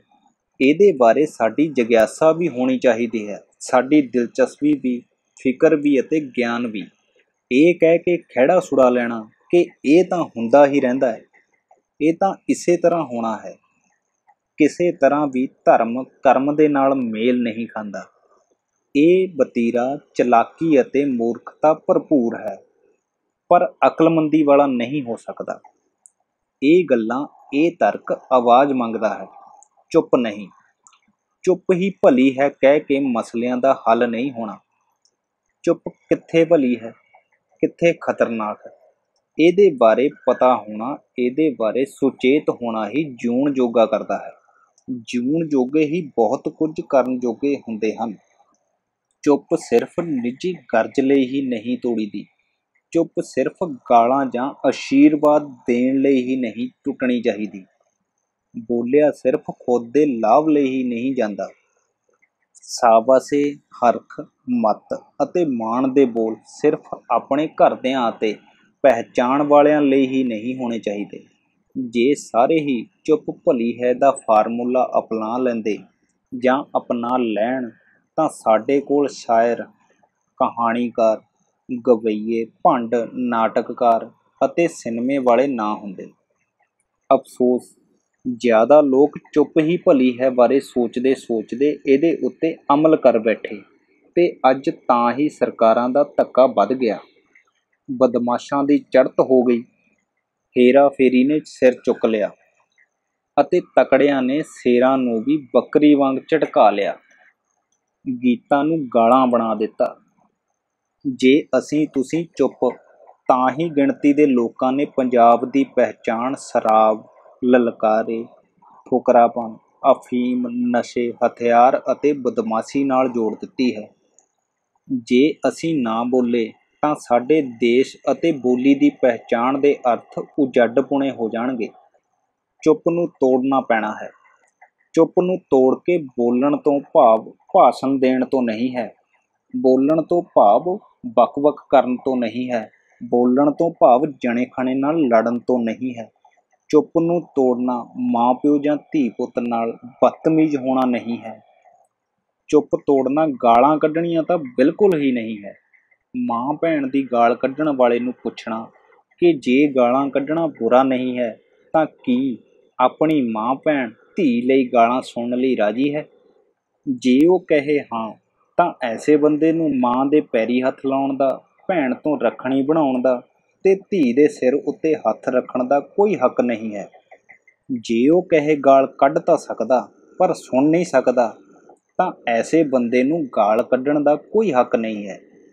ਕਿਉਂਕਿ ਕੁਝ ਦੇਣ ਵਾਲੇ ਨੂੰ ਕੁਝ ਲੈਣਾ ਤਾਂ ਪੈਂਦਾ ਹੀ ਹੈ। ਗੱਲ ਤਾਂ ਚੁੱਪ ਨੂੰ ਤੋੜ ਕੇ ਬੋਲਣ ਦੀ ਸ਼ੁਰੂ ਕੀਤੀ ਸੀ। ਬੋਲਣ ਤੋਂ ਭਾਵ ਹੈ ਦੁੱਖ ਸੁੱਖ ਦਾ ਸਵਾਦ ਰਚਣਾ। ਬੋਲਣ ਤੋਂ ਭਾਵ ਹੈ ਗੀਤਾਂ ਨੂੰ ਮਹਿਕਣ ਲਾਉਣਾ। ਬੋਲਣ ਤੋਂ ਮਤਲਬ ਹੈ ਔਲਾਦ ਨਾਲ ਦੋਸਤੀ ਦਾ ਰਾਬਤਾ ਕਾਇਮ ਕਰਨਾ। ਚੁੱਪ ਨੂੰ ਤੋੜਨ ਦਾ ਮਤਲਬ ਹੈ ਮਾਂ, ਪਤਨੀ, ਭੈਣ, ਸਹੇਲੀ ਤੇ ਧੀ ਦੇ ਨਾਲ ਵਿਚਾਰ ਵਟਾਂਦਰਾ ਕਰਨਾ। ਬੋਲਣ ਤੋਂ ਭਾਵ ਹੈ ਆਪਣੇ ਕੁੜੀ ਜਾਂ ਔਰਤ ਹੋਣ ਉੱਤੇ ਮਾਣ ਕਰਕੇ ਧੱਕਾ ਨਾ ਸਹਿਣਾ। ਚੁੱਪ ਤੋੜਨ ਦਾ ਮਤਲਬ ਹੈ ਹੱਕ ਸੱਚ ਦੀ ਗੱਲ ਕਰਨਾ। ਬੋਲਣ ਦਾ ਮਤਲਬ ਹੈ ਬੇਸ਼ਰਮੀ ਅਤੇ ਬਦਤਮੀਜੀ ਨੂੰ ਸਿਆਣਪ ਅਤੇ ਲਿਆਕਤ ਸਿਖਾਉਣਾ। ਚੁੱਪ ਵਿੱਚੋਂ ਬਾਹਰ ਨਿਕਲਣ ਦਾ ਅਰਥ ਹੈ ਪਿਓ ਨੂੰ ਪਿਆਰ ਦੇ ਬੋਲ ਕਹਿਣਾ ਤੇ ਮਾਂ ਨਾਲੋਂ ਟੁੱਟ ਕੇ ਨਾ ਬਹਿਣਾ। ਬੋਲਣ ਦਾ ਮਤਲਬ ਹੈ ਦਿਲ ਦੀ ਕਹਿਣਾ। ਬੋਲਣ ਦਾ ਅਰਥ ਹੈ ਬੁਰੇ ਦਾ ਵਿਰੋਧ ਕਰਨਾ, ਚੰਗੇ ਨੂੰ ਸਾਵਾਸ ਦੇਣਾ। ਬੋਲਣ ਦਾ ਮਤਲਬ ਹੈ ਕਿਤਾਬਾਂ ਕੋਲੋਂ ਵਿਚਾਰ ਲੈਣਾ। ਚੁੱਪ ਤੋੜਨ ਦਾ ਮਤਲਬ ਹੈ ਕਿਤਾਬਾਂ ਵਿੱਚੋਂ ਸਿੱਖੇ ਹੋਏ ਨੂੰ ਅਮਲੀ ਰੂਪ ਦੇਣਾ। ਬੋਲਣ ਦਾ ਮਤਲਬ ਹੈ ਘਰਾਂ ਨੂੰ ਚੁੱਪ ਵਿੱਚੋਂ ਕੱਢਣਾ। ਘਰਾਂ ਵਿੱਚ ਗੱਲਬਾਤ ਦਾ ਮਾਹੌਲ ਬਣਾਈ ਰੱਖਣ ਵਾਲੇ ਲੋਕ ਸਮਾਜ ਵਿੱਚ ਵੀ ਸੋਹਣਾ ਸੰਵਾਦ ਰਚਾਉਂਦੇ ਹਨ। ਪਰਿਵਾਰ ਨਾਲ ਬੁਰੇ ਭਲੇ ਦੀ ਚਰਚਾ ਕਰਦੇ ਰਹਿਣ ਵਾਲੇ ਘਰ ਤੋਂ ਬਾਹਰ ਵੀ ਭਲੇ ਨਾਲ ਖੜਦੇ ਅਤੇ ਬੁਰੇ ਦੇ ਸਾਹਮਣੇ ਡਟਦੇ ਹਨ। ਧੀ ਪੁੱਤਰ ਦਾ ਮਿੱਤਰ ਕਿਸੇ ਦਾ ਵੀ ਦੁਸ਼ਮਣ ਨਹੀਂ ਹੁੰਦਾ। ਜਿਹੜਾ ਘਰ ਵਿੱਚ ਬੁੱਲ ਸਿਉਂ ਕੇ ਰੱਖਦਾ ਹੈ, ਘਰ ਤੋਂ ਬਾਹਰ ਉਹਦੀ ਕੋਈ ਵੀ ਗੱਲ ਅਸਰ ਨਹੀਂ ਕਰਦੀ। ਅਫਸੋਸ ਘਰਾਂ ਵਿੱਚ ਵੀ ਲੋੜ ਜੋਗਾ ਨਹੀਂ ਬੋਲਦੇ ਅਸੀਂ ਲੋਕ। ਪਰ ਉਮੀਦ ਨਹੀਂ ਮੁੱਕਦੀ। ਚੁੱਪ ਰਹਿਣ ਦੀ ਸਹੁੰ ਪਾ ਕੇ ਜਾਗਦਿਆਂ ਹੀ ਸੁੱਤੇ ਮੇਰੇ ਲੋਕ ਉੱਠਣਗੇ, ਜਾਗਣਗੇ, ਦੀਵਾ ਜਗੂਗਾ, ਲਾਟ ਮਗੂਗੀ। ਸਾਡੇ ਪੰਜਾਬ ਦਾ ਮਾਣਮੱਤਾ ਸ਼ਾਇਰ ਹੈ ਸੁਰਜੀਤ ਪਾਤਰ। ਉਹ ਲਿਖਦਾ ਹੈ ਆਪਣੀ ਕਿਤਾਬ, ਬਿਰਖ ਅਰਜ ਕਰੇ ਵਿੱਚ। ਮੇਰੇ ਮਨ ਵਿੱਚ ਖੌਫ ਬਹੁਤ ਨੇ। ਥੋੜੀ ਥੋੜੀ ਆਸ ਵੀ ਹੈ। ਕਾਲੀ ਰਾਤ ਹੈ, ਪਰ ਇੱਕ ਨਿੰਮੇ ਦੀਵੇ ਦੀ ਤਰਵਾਸ ਵੀ ਹੈ। ਹੋ ਸਕਦਾ ਹੈ ਚੁੱਪ ਦੀ ਹਾਮੀ ਭਰਨ ਵਾਲੇ ਜਾਂ ਚੁੱਪ ਰਹਿਣ ਦੇ ਆਦੀ ਮੇਰੀਆਂ ਗੱਲਾਂ ਨੂੰ ਫੋਕਾ ਭਾਸ਼ਣ ਸਮਝ ਕੇ ਪੜ੍ਹਨਾ ਬੰਦ ਕਰ ਦੇਣ। ਜਾਂ ਹੀ ਹੀ ਕਰਕੇ ਸਾਰ ਦੇਣ। ਜਾਂ ਮੈਨੂੰ ਵੱਡਾ ਆਇਆ ਸਮਾਜ ਸੁਧਾਰਕ ਦਾ ਤਗਮਾ ਦੇਣ। ਜਾਂ ਮੈਨੂੰ ਮਿਲਣ ਤੇ ਕਹਿਣ। ਰਾਣੇ, ਟੈਨਸ਼ਨ ਨਾ ਲੈ ਇਹੋ ਜੀਆਂ ਗੱਲਾਂ ਦੀ। ਰੱਬ ਸਭ ਦੇਖਦਾ ਹੈ। ਕਿਉਂਕਿ ਅਕਸਰ ਅਸੀਂ ਇਹ ਸੰਵਾਦ ਸੁਣਦੇ ਹਾਂ ਕਿ ਰੱਬ ਸਭ ਦੇਖਦਾ ਹੈ। ਕੀ ਦੇਖਦਾ ਹੈ ਜੀ ਰੱਬ? ਕੀ ਰੱਬ ਇਹ ਦੇਖਦਾ ਹੈ ਕਿ ਅਸੀਂ ਦੁਨੀਆ ਤੇ ਬੋਲਣ ਵੇਲੇ ਬੋਲ ਨਹੀਂ ਰਹੇ? ਕੀ ਰੱਬ ਇਹ ਦੇਖਦਾ ਹੈ ਕਿ ਅਸੀਂ ਫਸਲਾਂ ਉੱਤੇ ਜ਼ਹਿਰ ਛਿੜਕ ਰਹੇ ਹਾਂ, ਕਿ ਅਸੀਂ ਉਹਨਾਂ ਨੂੰ ਵੋਟਾਂ ਪਾ ਰਹੇ ਹਾਂ ਜੋ ਲੋਕਾਂ ਦੇ ਹਿੱਤਾਂ ਦੇ ਦੁਸ਼ਮਣ ਨੇ, ਕਿ ਅਸੀਂ ਮਿਲਾਵਟ ਵਾਲਾ ਖਾਣਾ ਖਾ ਰਹੇ ਹਾਂ, ਕਿ ਅਸੀਂ ਧਰਮ ਅਸਥਾਨਾਂ ਨੂੰ ਵਪਾਰ ਕੇਂਦਰ ਬਣਾ ਰਹੇ ਹਾਂ, ਕਿ ਅਸੀਂ ਰੱਬ ਦੇ ਨਾਂ ਉੱਤੇ ਚੰਦਾ ਇਕੱਠਾ ਕਰ ਰਹੇ ਹਾਂ, ਕਿ ਅਸੀਂ ਬੇਕਾਰ ਘਟੀਆ ਗੰਦਾ ਗਾਣਾ ਵੱਜਦਾ ਬਰਦਾਸ਼ਤ ਕਰ ਰਹੇ ਹਾਂ। ਕਿ ਅਸੀਂ ਧੀ ਭੈਣ ਤੇ ਮਾਂ ਦੀ ਗਾਲ ਕੱਢਦੇ ਨੂੰ ਸਮਝਾਉਂਦੇ ਨਹੀਂ ਕਿ ਨਾ ਬਈ, ਗਾਲ ਨਹੀਂ ਕੱਢਣੀ। ਕਿਉਂਕਿ ਅਸੀਂ ਆਪ ਗਾਲਾਂ ਕੱਢਦੇ ਹਾਂ, ਪਰ ਜੇ ਕੋਈ ਸਾਨੂੰ ਕੱਢੇ ਤਾਂ ਲੜਦੇ ਹਾਂ। ਤੁਹਾਨੂੰ ਗਾਲ ਵਾਲੀ ਗੱਲ ਕੋਈ ਵੱਡਾ ਮੁੱਦਾ ਨਹੀਂ ਲੱਗਦੀ? ਇਹ ਵੱਡਾ ਮੁੱਦਾ ਹੈ ਜੀ। ਕੀ ਦੇਖ ਰਿਹਾ ਹੈ ਰੱਬ ਕਿ ਮੇਰੇ ਬੰਦੇ ਹਰ ਗੱਲ ਮੇਰੇ ਤੇ ਹੀ ਸੁੱਟੀ ਜਾ ਰਹੇ ਨੇ? ਕੀ ਦੇਖ ਰਹੇ ਨੇ ਰੱਬ ਜੀ? ਕਿ ਧੀਆਂ ਨੂੰ ਕੁੱਖਾਂ ਵਿੱਚ ਕਤਲ ਕੀਤਾ ਜਾ ਰਿਹਾ ਹੈ। ਕੀ ਦੇਖ ਰਿਹਾ ਹੈ ਰੱਬ ਕਿ ਅਸੀਂ ਪਾਣੀ, ਹਵਾ, ਧਰਤੀ ਅਤੇ ਦਰਖਤਾਂ ਦੇ ਦੁਸ਼ਮਣ ਬਣਦੇ ਜਾ ਰਹੇ ਹਾਂ? ਤਨਵੀਰ ਦੀ ਅਨੁਵਾਦ ਕੀਤੀ, ਲੈਂਗਸਟਨ ਹਾਊਸ ਦੀ ਕਵਿਤਾ ਪੜ੍ਹੀ ਸੀ, ਈਸ਼ਵਰ। ਉਹ ਤੁਹਾਡੇ ਨਾਲ ਸਾਂਝੀ ਕਰਦਾ ਹਾਂ। ਇੱਕ ਗੱਲ ਦੱਸਿਓ, ਤੁਸੀਂ ਕਵਿਤਾ, ਕਹਾਣੀ, ਨਾਵਲ, ਨਾਟਕ ਜਾਂ ਲੇਖ ਪੜ੍ਹਦੇ ਹੋ? ਜੇ ਨਹੀਂ ਪੜ੍ਹਦੇ ਤਾਂ ਇਹ ਕੋਈ ਵਧੀਆ ਗੱਲ ਨਹੀਂ। ਬਲਕਿ ਖੁਦ ਨਾਲ ਧੋਖਾ ਕਰਨ ਵਾਲੀ ਗੱਲ ਹੈ। ਤੁਹਾਨੂੰ ਪਤਾ ਹੈ ਸ਼ਹੀਦ ਭਗਤ ਸਿੰਘ ਅਤੇ ਉਸ ਦੇ ਸਾਥੀ ਕਿਤਾਬਾਂ ਨੂੰ ਹੀ ਅਸਲੀ ਮਿੱਤਰ ਮੰਨਦੇ ਸਨ। ਫਾਂਸੀ ਚੜ੍ਹਨ ਤੋਂ ਕੁਝ ਦੇਰ ਪਹਿਲਾਂ ਭਗਤ ਸਿੰਘ ਜੀ ਲੈਨਨ ਦੀ ਕਿਤਾਬ ਪੜ੍ਹ ਰਹੇ ਸਨ। ਭਗਤ ਸਿੰਘ ਹੋਰੀ ਲਿਖਦੇ ਵੀ ਬਹੁਤ ਕਮਾਲ ਦਾ ਸਨ। ਤੁਸੀਂ ਪੜ੍ਹੀ ਹੈ ਉਹਨਾਂ ਦੀ ਕੋਈ ਲਿਖਤ? ਜਗਮੋਹਨ ਸਿੰਘ ਦੀ ਸੰਪਾਦਿਤ ਕੀਤੀ ਕਿਤਾਬ ਪੜ੍ਹਨਾ ਸ਼ਹੀਦ ਭਗਤ ਸਿੰਘ ਅਤੇ ਉਹਨਾਂ ਦੇ ਸਾਥੀਆਂ ਦੀਆਂ ਲਿਖਤਾਂ। ਅੱਛਾ ਕਵਿਤਾ ਪੜੋ ਲੈਕਸਟਨ ਹਾਊਸ ਦੀ। ਮੈਂ ਈਸ਼ਵਰ ਹਾਂ। ਮੇਰੀ ਕਿਸੇ ਨਾਲ ਮਿੱਤਰਤਾ ਨਹੀਂ। ਐਨੀ ਵੱਡੀ ਦੁਨੀਆ 'ਚ ਟੋਂਦਾ ਹਾਂ ਆਪਣਾ ਪਰਿਵਰਤਨ। ਸੋਹਣੀ ਧਰਤੀ ਤੇ ਨੌਜਵਾਨ ਪ੍ਰੇਮੀ ਚਹਿਲ ਕਦਮੀ ਕਰਦੇ ਨੇ। ਮੈਂ ਧਰਤੀ ਤੇ ਕਿਵੇਂ ਪਹੁੰਚ ਸਕਦਾ? ਮੈਂ ਤਾਂ ਈਸ਼ਵਰ ਹਾਂ। ਉਠੋ, ਜੀਵਨ ਪ੍ਰੇਮ ਹੈ। ਪ੍ਰੇਮ ਹੀ ਜੀਵਨ ਹੈ। ਈਸ਼ਵਰ ਅਤੇ ਤਨਹਾ ਹੋਣ ਨਾਲੋਂ ਤਾਂ ਚੰਗਾ ਹੈ ਇਨਸਾਨ ਹੋਣਾ। ਹੁਣ ਮੈਗਜ਼ੀਨ ਵਿੱਚੋਂ ਧੰਨਵਾਦ ਨਾਲ। ਹਾਂ, ਚੰਗਾ ਹੈ ਇਨਸਾਨ ਹੋਣਾ। ਰੱਬ ਦੀ ਕੋਈ ਸ਼ਕਲ ਨਹੀਂ, ਰੱਬ ਦਾ ਕੋਈ ਆਕਾਰ ਨਹੀਂ। ਰੱਬ ਸ਼ਕਲ ਆਕਾਰ ਤੋਂ ਮੁਕਤ ਹੈ, ਪਰ ਉਸਨੇ ਸਾਨੂੰ ਸਭ ਦਿੱਤਾ ਹੈ। ਸਾਡਾ ਆਕਾਰ ਹੈ, ਸਾਡੇ ਕੋਲ ਮਾਂ ਦੇ ਗਰਭ ਵਿੱਚੋਂ ਮਿਲਦੀਆਂ ਤੇ ਕੁਦਰਤ ਦੀਆਂ ਦਿੱਤੀਆਂ ਬਹੁਤ ਸ਼ਕਤੀਆਂ ਹਨ। ਵੇਖਣ ਦੀ, ਸੁੰਘਣ ਦੀ, ਸਪਰਸ਼ ਦੀ, ਸਵਾਦ ਦੀ, ਤੁਰਨ ਦੀ, ਬੈਠਣ ਦੀ ਖੜਨ ਦੀ ਪੜਨ ਦੀ, ਬੋਲਣ ਦੀ, ਸੁਣਨ ਦੀ। ਇੰਨਾ ਕੁਝ ਹੈ ਸਾਡੇ ਕੋਲ। ਫਿਰ ਕਿਉਂ ਸਿੱਟੀਏ ਰੱਬ ਤੇ ਗੱਲ? ਕਿ ਰੱਬ ਸਭ ਕੁਝ ਦੇਖਦਾ ਹੈ। ਕਿ ਰੱਬ ਨੇ ਸਾਨੂੰ ਦੇਖਣ ਲਈ ਅੱਖਾਂ ਨਹੀਂ ਦਿੱਤੀਆਂ?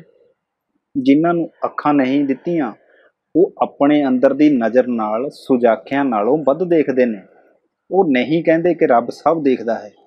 ਮੈਂ ਉਹਨਾਂ ਕਈ ਸੱਜਣਾਂ ਨੂੰ ਮਿਲਿਆ ਹਾਂ, ਜਿਨ੍ਹਾਂ ਕੋਲ ਅੱਖਾਂ ਦੀ ਰੌਸ਼ਨੀ ਨਹੀਂ, ਪਰ ਉਹਨਾਂ ਦੇ ਦਿਮਾਗ ਰੌਸ਼ਨ ਹਨ। ਜੋ ਸਾਨੂੰ ਦਿਖਾਈ ਦਿੰਦਾ ਹੈ, ਉਹੀ ਰੱਬ ਨੂੰ ਦਿਖਾਈ ਦਿੰਦਾ ਹੈ। ਰੱਬ ਕੋਲ ਜੇ ਸਰੀਰ ਹੋਵੇ, ਜੁਬਾਨ ਹੋਵੇ, ਉਮਰ ਹੋਵੇ, ਤਾਂ ਉਹ ਜ਼ਰੂਰ ਦੇਖੇ ਤੇ ਬੋਲੇ। ਉਹ ਸਾਡੇ, ਤੁਹਾਡੇ ਸਾਰਿਆਂ ਵਿੱਚ ਹੈ। ਉਹ ਵੇਖਣਾ, ਸੁਣਨਾ, ਬੋਲਣਾ ਚਾਹੁੰਦਾ ਹੈ। ਉਹਦੀ ਚਾਹਤ ਨੂੰ ਖੰਭ ਦਿਓ। ਰੱਬ ਨੂੰ ਆਪਣੀ ਕਮਜ਼ੋਰੀ ਤੇ ਲਾਚਾਰੀ ਦੇ ਜਬ ਵਿੱਚ ਦਬਾ ਕੇ ਤੇ ਲੁਕੋ ਕੇ ਨਾ ਰੱਖੋ। ਰੱਬ ਨੂੰ ਜਗਾਈ ਰੱਖੋ। ਮਨੁੱਖ ਦਾ ਜਾਗਣਾ ਹੀ ਰੱਬ ਦਾ ਜਾਗਣਾ ਹੈ। ਮਨੁੱਖ ਦਾ ਬੋਲਣਾ, ਸੁਣਨਾ, ਪੜ੍ਹਨਾ, ਕਰਨਾ ਹੀ ਰੱਬ ਦਾ ਹੈ। ਹੋਰ ਰੱਬ ਮੜੀਆਂ ਮਸਾਣਾ, ਉਚਾਣਾ, ਨਿਵਾਣਾ, ਜੰਗਲਾਂ, ਭੋਰਿਆਂ, ਡੇਰਿਆਂ, ਅਸਮਾਨਾਂ ਵਿੱਚ ਆਸਣ ਲਈ ਨਹੀਂ ਬੈਠਾ ਹੈ। ਰੱਬ ਟੂਣਿਆਂ ਤੇ ਨਹੀਂ ਹੈ। ਰੱਬ ਪੁੱਠੇ ਲੜਕਣ ਵਿੱਚ ਨਹੀਂ ਹੈ। ਰੱਬ ਕੱਟੜਤਾ ਵਿੱਚ ਨਹੀਂ ਹੈ। ਰੱਬ ਊਚ ਨੀਚ ਜਾਤ ਪਾਤ ਸੱਚ ਝੂਠ ਵਿੱਚ ਬਿਲਕੁਲ ਨਹੀਂ ਹੈ। ਜੇ ਰੱਬ ਗੈਬੀ ਸ਼ਕਤੀ ਸਰਬ ਕਲਾ ਸਮਰੱਥ ਹੈ, ਤਾਂ ਉਹ ਮਨੁੱਖ ਅਤੇ ਕੁਦਰਤ ਦਾ ਮਿੱਤਰ ਹੋਣ ਵਿੱਚ ਹੈ। ਰੱਬ ਸਾਫ਼ ਪਾਣੀਆਂ ਵਿੱਚ ਹੈ, ਸੁੱਧ ਹਵਾ ਵਿੱਚ ਹੈ, ਰੱਬ ਬਿਰਖਾਂ ਦੀ ਛਾਂ ਵਿੱਚ ਹੈ, ਬਿਰਖ ਲਾਉਣ ਵਾਲਿਆਂ ਦੇ ਮੂੰਹ ਵਿੱਚ ਹੈ, ਹਿੰਮਤ ਦਲੇਰੀ ਵਿੱਚ ਹੈ, ਮੁਹੱਬਤ ਵਿੱਚ ਹੈ, ਭਾਈਚਾਰੇ ਵਿੱਚ ਹੈ, ਆਜ਼ਾਦੀ ਵਿੱਚ ਹੈ। ਨਿਰਭੈ ਵਿੱਚ ਹੈ, ਨਿਰਵੈਰ ਵਿੱਚ ਹੈ, ਸ਼ਬਦ ਵਿੱਚ ਹੈ, ਸੁਥਰੇ ਸੰਗੀਤ ਵਿੱਚ ਹੈ, ਇਮਾਨਦਾਰੀ ਵਿੱਚ ਹੈ। ਰੱਬ ਧੀਆਂ ਭੈਣਾਂ ਦੀ ਆਜ਼ਾਦੀ ਅਤੇ ਕਦਰ ਵਿੱਚ ਹੈ। ਰੱਬ ਮਨੁੱਖ ਦੀ ਤਰੱਕੀ, ਭਲਾਈ, ਸੁੱਖ ਸਹੂਲਤ ਲਈ ਕੁਝ ਨਵਾਂ ਖੋਜਦੇ ਰਹਿਣ ਵਿੱਚ ਹੈ। ਰੱਬ ਸ਼ਬਦ ਵਿੱਚ ਹੈ। ਰੱਬ ਚੰਗੀਆਂ ਕਿਤਾਬਾਂ ਵਿੱਚ ਹੈ। ਰੱਬ ਆਤਮ ਵਿਸ਼ਵਾਸ ਹੈ। ਰੱਬ ਤਰਕ ਨਾਲ ਸਫ਼ਰ ਕਰਦਾ ਹੈ। ਰੱਬ ਆਜ਼ਾਦ ਸੋਚ ਵਿੱਚ ਹੈ। ਰੱਬ ਕਰਮ ਕਾਂਡ ਤੋਂ ਮੁਕਤ ਹੈ। ਰੱਬ ਈਰਖਾ ਵਿੱਚ ਤਾਂ ਸਮਾ ਹੀ ਨਹੀਂ ਸਕਦਾ। ਰੱਬ ਪਾਖੰਡੀ ਦਾ ਬੂਹਾ ਖੜਕਾ ਹੀ ਨਹੀਂ ਸਕਦਾ। ਰੱਬ ਸਪੀਕਰਾਂ ਦਾ ਰੌਲਾ ਹੰਡਾ ਹੀ ਨਹੀਂ ਸਕਦਾ। ਰੱਬ ਆਪਣੇ ਨਾਂ ਉੱਤੇ ਪੈਸੇ ਕਮਾ ਹੀ ਨਹੀਂ ਸਕਦਾ। ਰੱਬ ਪੈਸੇ ਜਾਂ ਤੋਹਫੇ ਭੇਟਾ ਲੈ ਕੇ ਕੰਮ ਕਰਾ ਹੀ ਨਹੀਂ ਸਕਦਾ। ਰੱਬ ਸਭ ਦੇਖਦਾ ਹੈ। ਅਸੀਂ ਤਾਂ ਕਹਿੰਦੇ ਹਾਂ, ਕਿਉਂਕਿ ਰੱਬ ਹਰ ਮਨੁੱਖ ਵਿੱਚ ਹੈ। ਆਓ ਮਨੁੱਖ ਨੂੰ ਰੱਬ ਵਾਂਗ ਦੇਖੀਏ। ਮਨੁੱਖ ਨੂੰ ਰੱਬ ਮੰਨ ਕੇ ਸਮਝੀਏ। ਰੱਬ ਦੇਖ ਕੇ ਅਣਦੇਖਿਆ ਕਰੇਗਾ ਤਾਂ ਰੱਬ ਦੀ ਹੋਂਦ ਨੂੰ ਖਤਰਨਾਕ ਹੈ। ਰੱਬ ਸਿਰਫ ਬੋਲਦਾ ਹੀ ਨਹੀਂ ਹੈ, ਉਹ ਸੁਣਦਾ ਵੀ ਬਹੁਤ ਸੋਹਣਾ ਹੈ। ਰੱਬ ਫੈਸਲਾ ਕਰਦਾ ਹੈ, ਪੱਖਪਾਤ ਨਹੀਂ। ਰੱਬ ਹੱਥ ਉੱਤੇ ਹੱਥ ਧਰ ਕੇ ਵਿਹਲਾ ਬੈਠੇਗਾ ਤਾਂ ਦੁਨੀਆ ਦਾ ਕੀ ਬਣੇਗਾ? ਇਹ ਸਭ ਨੂੰ ਦੇਖਣਾ ਅਸੀਂ ਹੈ, ਇਹ ਸਭ ਕਰਨਾ ਅਸੀਂ ਹੈ, ਕਿਉਂਕਿ ਰੱਬ ਸਾਡੇ ਵਿੱਚ ਹੈ। ਅਸੀਂ ਬਹਾਨਾ ਨਹੀਂ ਲਾ ਸਕਦੇ। ਬਹਾਨਾ ਲਾ ਕੇ ਪਾਸੇ ਤਾਂ ਹੋ ਸਕਦੇ ਹਾਂ, ਪਰ ਸੁਰਖਰੂ ਨਹੀਂ ਹੋ ਸਕਦੇ। ਕਿਸੇ ਵੀ ਕਿਸਮ ਦਾ ਨਿਕੰਮਾਪਣ ਹਰ ਮਨੁੱਖ ਨੂੰ ਸਤਾਉਂਦਾ ਤਾਂ ਹੈ ਲਾਣਤ ਤਾਂ ਪਾਉਂਦਾ ਹੈ। ਜਿਹੜਾ ਨਿਕੰਮੇਪਣ ਨੂੰ ਸੁਧਾਰ ਲੈਂਦਾ ਹੈ, ਉਹ ਖੁਸ਼ੀ ਤੇ ਸਕੂਨ ਪਾ ਲੈਂਦਾ ਹੈ। ਉਹ ਆਪਣੇ ਰੱਬ ਦੇ ਨੇੜੇ ਹੋ ਜਾਂਦਾ ਹੈ, ਕਿਉਂਕਿ ਸੁਣਿਆ ਹੈ ਕਿ ਰੱਬ ਦੀ ਪ੍ਰਾਪਤੀ ਖੁਸ਼ੀ ਨੂੰ ਸਕੂਨ ਦਿੰਦੀ ਹੈ। ਇਹ ਗੱਲਾਂ ਮੈਂ ਮਨ ਘੜਤ ਨਹੀਂ ਬਣਾਈਆਂ। ਇਹੀ ਤਾਂ ਦੱਸਦੇ, ਸਮਝਾਉਂਦੇ ਅਤੇ ਬਿਆਨ ਦਿੰਦੇ ਨੇ। ਸਾਨੂੰ ਸਾਡੇ ਵੇਦ, ਪੁਰਾਣ, ਰਮਾਇਣ, ਗੀਤਾ, ਬਾਈਬਲ, ਕੁਰਾਨ ਅਤੇ ਸ੍ਰੀ ਗੁਰੂ ਗ੍ਰੰਥ ਸਾਹਿਬ। ਅਸੀਂ ਸਮਝਦੇ ਹੀ ਨਹੀਂ ਬਸ। ਜਿਸ ਦਿਨ ਸਮਝ ਗਏ, ਉਸ ਦਿਨ ਅਸੀਂ ਧਰਤੀ ਦੇ ਸਾਊ ਪੁੱਤ ਬਣ ਜਾਵਾਂਗੇ। ਪੰਜਾਬੀ ਦਾ ਇੱਕ ਬਹੁਤ ਹੀ ਜਹੀਨ, ਸੂਖਮ, ਬੁੱਧੀਮਾਨ ਲੇਖਕ ਅਤੇ ਕਵੀ ਜਸਵੰਤ ਸਿੰਘ ਜਫਰ ਲਿਖਦਾ ਹੈ ਅਸੀਂ ਤਾਂ ਜੀਵੰਤ ਸੰਸਾਰ ਦੇ ਜਾਂ ਛੋਟੇ ਵੱਡੇ ਪਾਸਾਰ ਦੇ ਕੇਂਦਰ ਹੋਣ ਦਾ ਭਰਮ ਕਰਦੇ ਹਾਂ। ਕੇਂਦਰ ਬਣਨ ਲਈ ਕਰਮ ਕਰਦੇ ਹਾਂ। ਕੇਂਦਰ ਹੀ ਰਹਿਣਾ ਲੋਚਦੇ ਹਾਂ।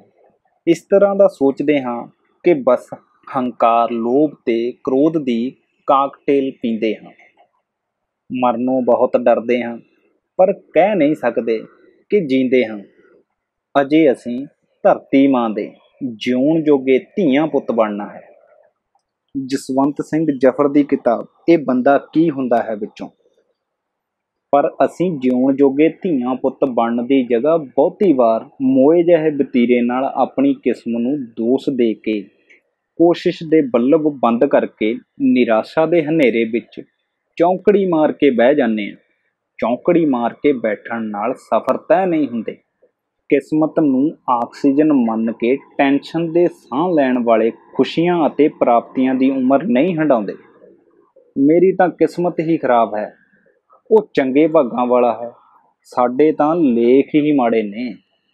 ਇਹ ਸ਼ਬਦਾਂ ਦੀ ਵਰਤੋਂ ਜ਼ਿੰਦਗੀ ਵਿੱਚ ਹਰ ਕੋਈ ਕਰਦਾ ਹੈ। ਕੋਈ ਵੱਧ, ਕੋਈ ਘੱਟ। ਕਈ ਸਾਰੀ ਉਮਰ ਇਹ ਡਾਇਲੋਗ ਬੋਲਦੇ ਹੀ ਬਿਨਾਂ ਕੁਝ ਹਾਸਿਲ ਕੀਤੇ ਜਹਾਨ ਤੋਂ ਕੂਚ ਕਰ ਜਾਂਦੇ ਨੇ। ਪਰ ਜਿਹੜੇ ਇਹ ਗੱਲਾਂ ਤੋਂ ਖਿਹੜਾ ਛੁਡਾ ਕੇ, ਇੱਕ ਕੱਕੇ ਨੂੰ ਸਾਫ਼ ਕਰਕੇ, ਮਤਲਬ ਕਿਸਮਤ ਦੇ ਡਾਇਲੋਗ ਨੂੰ ਡਿਲੀਟ ਮਾਰ ਕੇ ਪੰਜ ਕੱਕੇ ਫੜ ਲੈਂਦੇ ਹਨ। ਮਤਲਬ ਕਲਾ, ਕੋਸ਼ਿਸ਼, ਕਾਰਜ, ਕਰਤੱਵ, ਕਾਬਲੀਅਤ ਨੂੰ ਅਪਣਾ ਲੈਂਦੇ ਹਨ। ਉਹ ਇਹ ਸਾਬਿਤ ਕਰ ਦਿੰਦੇ ਹਨ ਕਿ ਮਨੁੱਖ ਕਿਸਮਤ ਨੂੰ ਲਿਖਦਾ ਹੈ। ਕਿਸਮਤ ਮਨੁੱਖ ਨੂੰ ਨਹੀਂ ਸਿਰਜਦੀ। ਸ੍ਰੀ ਰਾਮਚੰਦਰ ਨੇ ਬਨਵਾਸ ਕਬੂਲ ਕੀਤਾ ਸੀ। ਉਹਨਾਂ ਦੀ ਕਿਸਮਤ ਵਿੱਚ ਬਨਵਾਸ ਨਹੀਂ ਸੀ ਲਿਖਿਆ।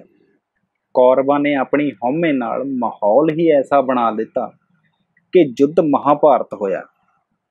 ਗੁਰੂ ਨਾਨਕ ਦੇਵ ਜੀ ਨੂੰ ਚਾਰੋਂ ਉਦਾਸੀਆਂ ਦੇ ਰਾਹ ਕਿਸਮਤ ਨੇ ਨਹੀਂ ਪਾਇਆ ਸੀ। ਸਗੋਂ ਇਹ ਰਾਹ ਨੂੰ ਗੁਰੂ ਨਾਨਕ ਦੇਵ ਜੀ ਨੇ ਖੁਦ ਚੁਣਿਆ ਸੀ ਤੇ ਚਮਕਾਇਆ ਸੀ। ਗੁਰੂ ਨਾਨਕ ਤਾਂ ਕਿਸਮਤ ਤੇ ਕਰਾਮਾਤ ਨੂੰ ਮੰਨਦੇ ਹੀ ਨਹੀਂ ਸਨ। ਗੁਰੂ ਤੇਗ ਬਹਾਦਰ ਜੀ ਦੀ ਕਿਸਮਤ ਵਿੱਚ ਸ਼ਹੀਦੀ ਨਹੀਂ ਸੀ ਲਿਖੀ ਮਿੱਤਰੋ। ਗੁਰੂ ਜੀ ਨੇ ਸ਼ਹੀਦੀ ਆਪ ਚੁਣੀ ਸੀ। ਇਤਿਹਾਸ ਗਵਾਹ ਹੈ। ਗੁਰੂ ਚੁਣਨ ਕਰਕੇ ਹੀ ਵੱਡਾ ਹੁੰਦਾ ਹੈ। ਗੁਰੂ ਰਾਹ ਚੁਣਦਾ ਹੈ। ਗੁਰੂ ਰਾਹ ਵਿਖਾਉਂਦਾ ਹੈ। 1947 ਦੀ ਵੰਡ ਤੇ 1984 ਦੇ ਦੰਗੇ ਕਿਸਮਤ ਦੇ ਕਾਰੇ ਨਹੀਂ ਸਨ। ਇਹ ਸਿਆਸਤ ਦੀਆਂ ਕਾਲੀਆਂ ਕਰਤੂਤਾਂ ਸਨ। ਕੁੱਖਾਂ ਵਿੱਚ ਭਰੂਣ ਦਾ ਕਤਲ ਭਰੂਣ ਦੀ ਕਿਸਮਤ ਨਹੀਂ, ਸਗੋਂ ਇਨਸਾਨ ਦਾ ਰਾਖਸੀ ਕਾਰਾ ਹੈ। ਕਿਸਮਤ ਜੇਕਰ ਅਰਥ ਅਤੇ ਹੁੰਦਾਂ ਰੱਖਦੀ ਹੁੰਦੀ ਤਾਂ ਤਾਂ 33 ਕਰੋੜ ਦੇਵੀ ਦੇਵਤਿਆਂ, ਗੁਰੂਆਂ, ਪੀਰਾਂ, ਫਕੀਰਾਂ, ਪੂਜਾ, ਹਵਨ ਜਗ, ਵਰਤ ਦੀ ਧਰਤੀ ਭਾਰਤ ਉੱਤੇ, ਉਹ ਕੁਝ ਸ਼ਰਮਨਾਕ, ਹਿੰਸਕ ਅਤੇ ਗੈਰ ਕੁਦਰਤੀ ਤੇ ਭਿਆਨਕ ਨਾ ਵਾਪਰਦਾ, ਜੋ ਵਾਪਰਿਆ ਅਤੇ ਵਾਪਰ ਰਿਹਾ ਹੈ। ਕਿਉਂਕਿ ਭਗਵਾਨ ਇੰਨੀ ਮਾੜੀ ਕਿਸਮਤ ਕਦੇ ਨਹੀਂ ਲਿਖਣਗੇ ਕਿ ਮਾਂ-ਬਾਪ ਆਪਣੀ ਔਲਾਦ ਬਾਰੇ ਹਿੰਸਕ, ਸ਼ਰਮਨਾਕ ਲਿਖ ਸਕਦੇ ਨੇ। ਭਗਵਾਨ ਪਿਤਾ ਹੈ ਕਿ ਪਿਤਾ ਆਪਣੀ ਧੀ ਦੀ ਕਿਸਮਤ ਵਿੱਚ ਬਲਾਤਕਾਰ ਲਿਖ ਸਕਦਾ ਹੈ। ਇਹ ਕਥਨ ਅਤੇ ਤਰਕ ਦੁਨੀਆ ਭਰ ਦੇ ਹਰ ਮਾੜੇ ਨਾਲ ਵੀ ਸੰਬੰਧਿਤ ਹੈ। ਜ਼ਿੰਦਗੀ ਦੇ ਵਿੱਚ ਰੰਗ ਕਿਸਮਤ ਨਹੀਂ, ਸਾਡੀ ਸੋਚ ਭਰਤੀ ਹੈ। ਸਾਡਾ ਇਰਾਦਾ ਹੀ ਸਾਡੀ ਮੰਜ਼ਿਲ ਨਿਸ਼ਚਿਤ ਕਰਦਾ ਹੈ। ਪੱਤਰੀਆਂ ਦੇ ਗ੍ਰਹਿ ਚੱਕਰ ਜਾਂ ਹੱਥ ਮੱਥੇ ਦੀਆਂ ਲਕੀਰਾਂ ਕਿਸਮਤ ਦੀਆਂ ਸਿਰਜਣਹਾਰ ਨਹੀਂ ਹਨ। ਜੇ ਪੱਤਰੀਆਂ ਜਾਂ ਲਕੀਰਾਂ ਜ਼ਿੰਦਗੀ ਦੀ ਰੂਪ ਰੇਖਾ ਅਤੇ ਤਸਵੀਰਾਂ ਘੜਦੀਆਂ ਹੁੰਦੀਆਂ, ਤਾਂ ਨਜੂਮੀਆਂ, ਜੋਤਸ਼ੀਆਂ ਤੇ ਰਾਸ਼ੀਫਲ ਦੱਸਣ ਵਾਲਿਆਂ ਨੇ ਪਹਿਲਾਂ ਖੁਦ ਦਾ ਵਰਤਮਾਨ ਅਤੇ ਭਵਿੱਖ ਸਵਾਰਨਾ ਸੀ। ਕੀ ਕੋਈ ਭਵਿੱਖ ਦੱਸਣ ਵਾਲਾ ਜਾਂ ਗ੍ਰਹਿ ਉਪਾਅ ਕਰਨ ਵਾਲਾ ਅੱਜ ਤੱਕ ਆਪਣੀ ਮੌਤ ਦੀ ਭਵਿੱਖਬਾਣੀ ਕਰ ਸਕਿਆ ਹੈ? ਜਾਂ ਆਪਣੀ ਮੌਤ ਨੂੰ ਟਾਲ ਸਕਿਆ? ਕੀ ਨਿਜੂਮੀ ਜੋਤਿਸ਼ ਤੇ ਰਾਸ਼ੀਫਲ ਦੱਸਣ ਵਾਲੇ ਆਪਣੇ ਘਰਾਂ ਵਿੱਚੋਂ ਬਿਮਾਰੀ, ਦੁੱਖ, ਕਲੇਸ਼ ਦੂਰ ਕਰ ਸਕੇ? ਕਿਸਮਤ ਦੇ ਪਿੱਛੇ ਲੱਗ ਕੇ ਆਪਣੇ ਸੁਪਨਿਆਂ ਦਾ ਕਤਲ ਨਾ ਕਰੋ। ਕਿਸਮਤ ਤੇ ਯਕੀਨ ਕਰਕੇ ਸੁਪਨਿਆਂ ਦੇ ਬੀਜ ਲੁਕੋ ਕੇ ਨਾ ਰੱਖੋ। ਪੰਜਾਬੀ ਦੇ ਇਨਕਲਾਬੀ ਕਵੀ ਪਾਸ ਦਾ ਕਹਿਣਾ ਹੈ, ਸਭ ਤੋਂ ਖਤਰਨਾਕ ਹੁੰਦਾ ਹੈ ਸਾਡੇ ਸੁਪਨਿਆਂ ਦਾ ਮਰ ਜਾਣਾ। ਸੁਪਨਿਆਂ ਨੂੰ ਜਿਉਂਦਾ ਰੱਖਣ ਵਾਲੇ ਅਤੇ ਸੁਪਨੇ ਬੀਜਣ ਵਾਲੇ ਹਨੇਰੇ ਵਕਤਾਂ ਨੂੰ ਵੀ ਲਿਸਕਣ ਲਾ ਦਿੰਦੇ ਹਨ। ਮਿੱਤਰੋ, ਵਕਤ ਅਤੇ ਕੁਦਰਤ ਕਿਸਮਤ ਦੇ ਗੁਲਾਮ ਨਹੀਂ ਹਨ। ਅਸੀਂ ਵਕਤ ਅਤੇ ਕੁਦਰਤ ਦਾ ਅਹਿਮ ਹਿੱਸਾ ਹਾਂ। ਦਰਅਸਲ, ਅਸੀਂ ਜਦ ਕਿਸਮਤ ਦੇ ਸਿਰ ਇਲਜ਼ਾਮ ਧਰਦੇ, ਤਾਂ ਤਦ ਅਸੀਂ ਖੁਦ ਹਾਰ ਮੰਨ ਕੇ ਹੱਥ ਖੜੇ ਕਰਦੇ ਹਾਂ। ਬੇਹਿੰਮਤੀ ਅਕਣਾ ਥੱਕਣਾ ਕੰਮ ਕਰਨ ਵਿੱਚ ਦਿਲਚਸਪੀ ਨਾ ਹੋਣਾ ਆਲਸ ਤੇ ਚਮਤਕਾਰ ਹੋਣ ਦਾ ਯਕੀਨ ਹੀ ਸਾਡੇ ਤੋਂ ਕਿਸਮਤ ਦੇ ਚੰਗੇ ਮਾੜੇ ਹੋਣ ਦੀਆਂ ਗੱਲਾਂ ਕਰਵਾਉਂਦਾ ਹੈ। ਮੈਨੂੰ ਬਹੁਤ ਵਿਸ਼ਵਾਸ ਹੈ ਕਿ ਤੁਸੀਂ ਖੁਦ ਨੂੰ ਸਮਝੋਗੇ। ਫਿਰ ਲੋਕ ਤੁਹਾਨੂੰ ਸਮਝਣਗੇ। ਮੈਂ ਕਦੇ ਨਹੀਂ ਕਿਹਾ ਅਤੇ ਨਾ ਹੀ ਕਹਾਂਗਾ ਕਿ ਲੋਕ ਮੈਨੂੰ ਸਮਝਦੇ ਹੀ ਨਹੀਂ। ਦਰਅਸਲ ਜਿਨ੍ਹਾਂ ਨੂੰ ਮੈਂ ਸਮਝਾ ਨਹੀਂ ਸਕਦਾ, ਉਹ ਮੈਨੂੰ ਨਹੀਂ ਸਮਝਦੇ। ਮੈਂ ਜਿਨ੍ਹਾਂ ਨਾਲੋਂ ਖੁਦ ਨੂੰ ਤੋੜ ਕੇ ਰੱਖਦਾ ਹਾਂ, ਉਹ ਮੈਨੂੰ ਨਹੀਂ ਸਮਝਣਗੇ। ਮੈਂ ਜਿਨ੍ਹਾਂ ਦੀ ਹਰ ਗੱਲ ਦੀ ਹਾਮੀ ਨਹੀਂ ਭਰਦਾ, ਉਹ ਮੈਨੂੰ ਸਮਝ ਕੇ ਵੀ ਨਹੀਂ ਸਮਝਣਗੇ। ਕੱਟੜ ਅਤੇ ਅੰਧ ਵਿਸ਼ਵਾਸੀ ਮੈਨੂੰ ਨਹੀਂ ਸਮਝਣਗੇ। ਜੇ ਮੇਰੀ ਸਮਝ ਕਿਸੇ ਦਾ ਨੁਕਸਾਨ ਨਹੀਂ ਕਰਦੀ, ਤਾਂ ਮੈਨੂੰ ਕੋਈ ਅਫਸੋਸ ਨਹੀਂ ਕਿ ਮੈਨੂੰ ਕੋਈ ਕਿਉਂ ਨਹੀਂ ਸਮਝਦਾ। ਹਾਂ, ਜੇ ਮੈਨੂੰ ਕੋਈ ਨਹੀਂ ਸਮਝਦਾ, ਤਾਂ ਹੋ ਸਕਦਾ ਹੈ ਕਿ ਮੈਨੂੰ ਸਮਝਾਉਣਾ ਹੀ ਨਾ ਆਉਂਦਾ ਹੋਵੇ। ਕਿਉਂ ਜੀ? ਕੀ ਤੁਹਾਨੂੰ ਕਦੇ ਇਸ ਸਵਾਲ ਦਾ ਸਾਹਮਣਾ ਕਰਨਾ ਪਿਆ ਹੈ ਕਿ ਲੋਕ ਤੁਹਾਨੂੰ ਸਮਝਦੇ ਨਹੀਂ। ਗੱਲ ਕਰਨ ਦਾ ਅਤੇ ਸਮਝਾਉਣ ਦਾ ਵੱਲ ਹੋਵੇ ਤਾਂ ਰੁੱਖ ਪੱਤੇ ਫੁੱਲ ਵੀ ਤੁਹਾਡੇ ਹਾਣੀ ਹੋ ਜਾਂਦੇ ਨੇ। ਤੁਹਾਡੇ ਵਿਵਹਾਰ, ਤਰਕ, ਇਰਾਦੇ ਅਤੇ ਪਹੁੰਚ ਨੇ ਤੈਅ ਕਰਨਾ ਹੈ ਕਿ ਤੁਹਾਨੂੰ ਸਮਝਿਆ ਜਾਵੇ ਜਾਂ ਨਾ। ਸਮਝ ਆਉਣਾ ਅਤੇ ਸਹਿਮਤ ਹੋਣਾ ਅਲੱਗ ਗੱਲਾਂ ਨੇ। ਜਿਸ ਨੇ ਇਹ ਮਿੱਥ ਹੀ ਲਿਆ ਹੈ ਕਿ ਉਹ ਤੁਹਾਡੀ ਗੱਲ ਨੂੰ ਨਹੀਂ ਸਮਝੇਗਾ। ਤਾਂ ਉਹ ਨਹੀਂ ਸਮਝਣ ਦਾ ਹੀ ਡਰਾਮਾ ਕਰੇਗਾ। ਪਰ ਸਮਝ ਜ਼ਰੂਰ ਜਾਵੇਗਾ। ਹਾਂ, ਮੰਨੇਗਾ ਨਹੀਂ। ਜ਼ਰੂਰੀ ਨਹੀਂ ਕਿ ਜਿਸ ਨੂੰ ਤੁਹਾਡੀ ਗੱਲ ਸਮਝ ਆਵੇ, ਉਹ ਤੁਹਾਡੇ ਨਾਲ ਸਹਿਮਤ ਹੀ ਹੋਵੇ। ਹਾਂ, ਬਹੁਤ ਜ਼ਿਆਦਾ ਸੰਭਾਵਨਾ ਹੁੰਦੀ ਹੈ ਕਿ ਜਿਸ ਨੇ ਤੁਹਾਨੂੰ ਦਿਮਾਗ ਨਾਲ ਪਰਿਵਰਤਨ ਲਈ ਸਮਝਿਆ ਹੈ, ਅਸਲ ਵਿੱਚ ਉਹੀ ਧੁਰ ਅੰਦਰੋਂ ਤੁਹਾਡੇ ਨਾਲ ਸਹਿਮਤ ਹੋਵੇਗਾ। ਬਿਨਾਂ ਦੱਸਿਆਂ, ਪੁੱਛਿਆਂ, ਬਿਨਾਂ ਬੋਲੇ ਸੁਣੇ ਬਗੈਰ ਪੜ੍ਹੇ ਲਿਖੇ ਕੋਈ ਵੀ ਨਹੀਂ ਸਮਝਦਾ। ਦਰਅਸਲ ਸਾਡੀਆਂ ਬਹੁਤੀਆਂ ਸਮੱਸਿਆਵਾਂ ਇਸ ਗੱਲ ਨਾਲ ਹੀ ਅਟਕੀਆਂ ਲਟਕੀਆਂ ਅਤੇ ਜਿਉਂਦੀਆਂ ਤਿਉਂ ਰਹਿੰਦੀਆਂ ਹਨ ਕਿ ਅਸੀਂ ਪਹਿਲਾਂ ਹੀ ਫੈਸਲਾ ਕਰ ਲੈਂਦੇ ਹਾਂ ਕਿ ਸਾਨੂੰ ਜਾਂ ਸਾਡੀ ਗੱਲ ਨੂੰ ਕੋਈ ਸਮਝੇਗਾ ਨਹੀਂ। ਇਹੀ ਗੱਲ ਇੱਕ ਤੋਂ ਦੋ ਦੋ ਤੋਂ ਜਨ ਸਮੂਹ ਅਤੇ ਦੇਸ਼ ਉੱਤੇ ਢੁਕਦੀ ਹੈ। ਸਾਨੂੰ ਨਾ ਸਮਝਣ ਕਰਕੇ ਲੋਕ ਕਹਿਣ ਲੱਗ ਜਾਂਦੇ ਹਨ ਕਿ ਇਸ ਦਾ ਕੁਝ ਨਹੀਂ ਹੋ ਸਕਦਾ। ਫਿਰ ਅਸੀਂ ਵੀ ਪਿੱਛੇ ਨਹੀਂ ਰਹਿੰਦੇ ਅਤੇ ਅਸੀਂ ਕਹਿਣ ਲੱਗਦੇ ਹਾਂ ਕਿ ਇਸ ਦੇਸ਼ ਦਾ ਕੁਝ ਨਹੀਂ ਹੋ ਸਕਦਾ। ਮੇਰੇ ਜਿਹਿਆਂ ਨੇ ਖੁਦ ਕੁਝ ਕਰਨਾ ਨਹੀਂ ਹੁੰਦਾ ਤੇ ਦੋਸ਼ ਮੜਨਾ ਹੁੰਦਾ ਕਿਸੇ ਦੂਜੇ ਉੱਤੇ।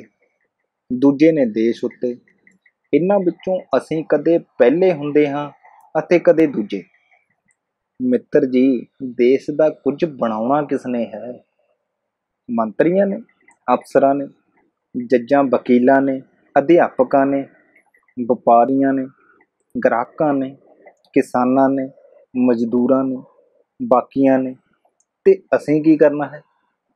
ਮੰਤਰੀ, ਅਫਸਰ, ਜੱਜ, ਵਕੀਲ, ਅਧਿਆਪਕ, ਕਲਰਕ, ਚਪੜਾਸੀ, ਲੇਖਕ, ਕਲਾਕਾਰ, ਮਜ਼ਦੂਰ ਆਦ ਆਦ ਆਦ। ਇਹ ਕਿੱਥੋਂ ਆਉਂਦੇ ਨੇ? ਇਹ ਕਿੰਨਾ ਵਿੱਚੋਂ ਹਨ? ਮੈਂ, ਤੂੰ, ਅਸੀਂ, ਤੁਸੀਂ, ਉਹ ਆ ਹੀ ਤਾਂ ਹਨ ਇਹ ਸਭ। ਜੇ ਮੈਂ ਜਾਂ ਤੁਸੀਂ ਕੁਝ ਨਹੀਂ ਕਰ ਸਕਦੇ, ਜੇ ਅਸੀਂ ਗੈਰ ਜ਼ਿੰਮੇਵਾਰ ਹਾਂ ਤਾਂ ਫੇਰ ਤਾਂ ਫੇਰ ਸਾਡਾ ਤੇ ਸਾਡੇ ਦੇਸ਼ ਦਾ ਬੜਾ ਕੁਝ ਬਣ ਸਕਦਾ ਹੈ। ਜੇ ਅਸੀਂ ਜਵਾਬ ਦੇ, ਜ਼ਿੰਮੇਵਾਰ, ਸਮਰਪਿਤ, ਸੁਧਾਰਕ, ਪ੍ਰਬੰਧਕ, ਸੰਜੀਦਾ ਅਤੇ ਸਿਆਣੇ ਹੋ ਜਾਈਏ, ਜਾਂ ਧਰਤੀ ਤੋਂ ਉੱਪਰ ਸਪੇਸ ਵਿੱਚ ਜਿਨ੍ਹਾਂ ਮੁਲਕਾਂ ਦਾ ਕੁਝ ਬਣਿਆ ਹੈ ਜਾਂ ਜਿਨ੍ਹਾਂ ਮੁਲਕਾਂ ਨੇ ਤਰੱਕੀ ਕੀਤੀ ਹੈ, ਉਹ ਇਹਨਾਂ ਨੇ ਆਪਣੇ ਜ਼ਿੰਮੇਵਾਰ, ਲਿਆਕਤ ਵਾਲੇ, ਹੁਨਰਮੰਦ, ਤਰੱਕੀ ਪਸੰਦ ਅਤੇ ਕੁਝ ਸੋਹਣਾ ਨਵਾਂ ਕਰਦੇ ਰਹਿਣ ਦੀ ਇੱਛਾ ਵਾਲੇ ਨਾਗਰਿਕਾਂ ਕਰਕੇ ਹੀ ਕੀਤੀ ਹੈ। ਸਾਡੇ ਦੇਸ਼ ਦੀਆਂ ਵੀ ਅਨੇਕਾਂ ਗੌਰਵਮਈ ਪ੍ਰਾਪਤੀਆਂ ਸੋਹਣੀ ਸੋਚ ਵਾਲੇ ਨਾਗਰਿਕਾਂ ਕਰਕੇ ਹੀ ਹਨ। ਸੋਹਣੀ ਸੋਚ ਵਾਲੇ ਵੱਖਰੇ ਨਹੀਂ ਜੰਮਦੇ, ਪਰ ਉਹ ਪਲਦੇ ਵੱਖਰਾ ਸੋਚ ਕੇ ਹਨ। ਸੋਹਣਾ ਇਨਸਾਨ ਬਣਨ ਵਿੱਚ ਧਨ ਨਹੀਂ, ਮਨ ਮਦਦ ਕਰਦਾ ਹੈ। ਸੋਹਣੀ ਸੋਚ ਵਾਲੇ ਸੋਹਣਾ ਕਰਨ ਵਿੱਚ ਯਕੀਨ ਰੱਖਦੇ ਹਨ।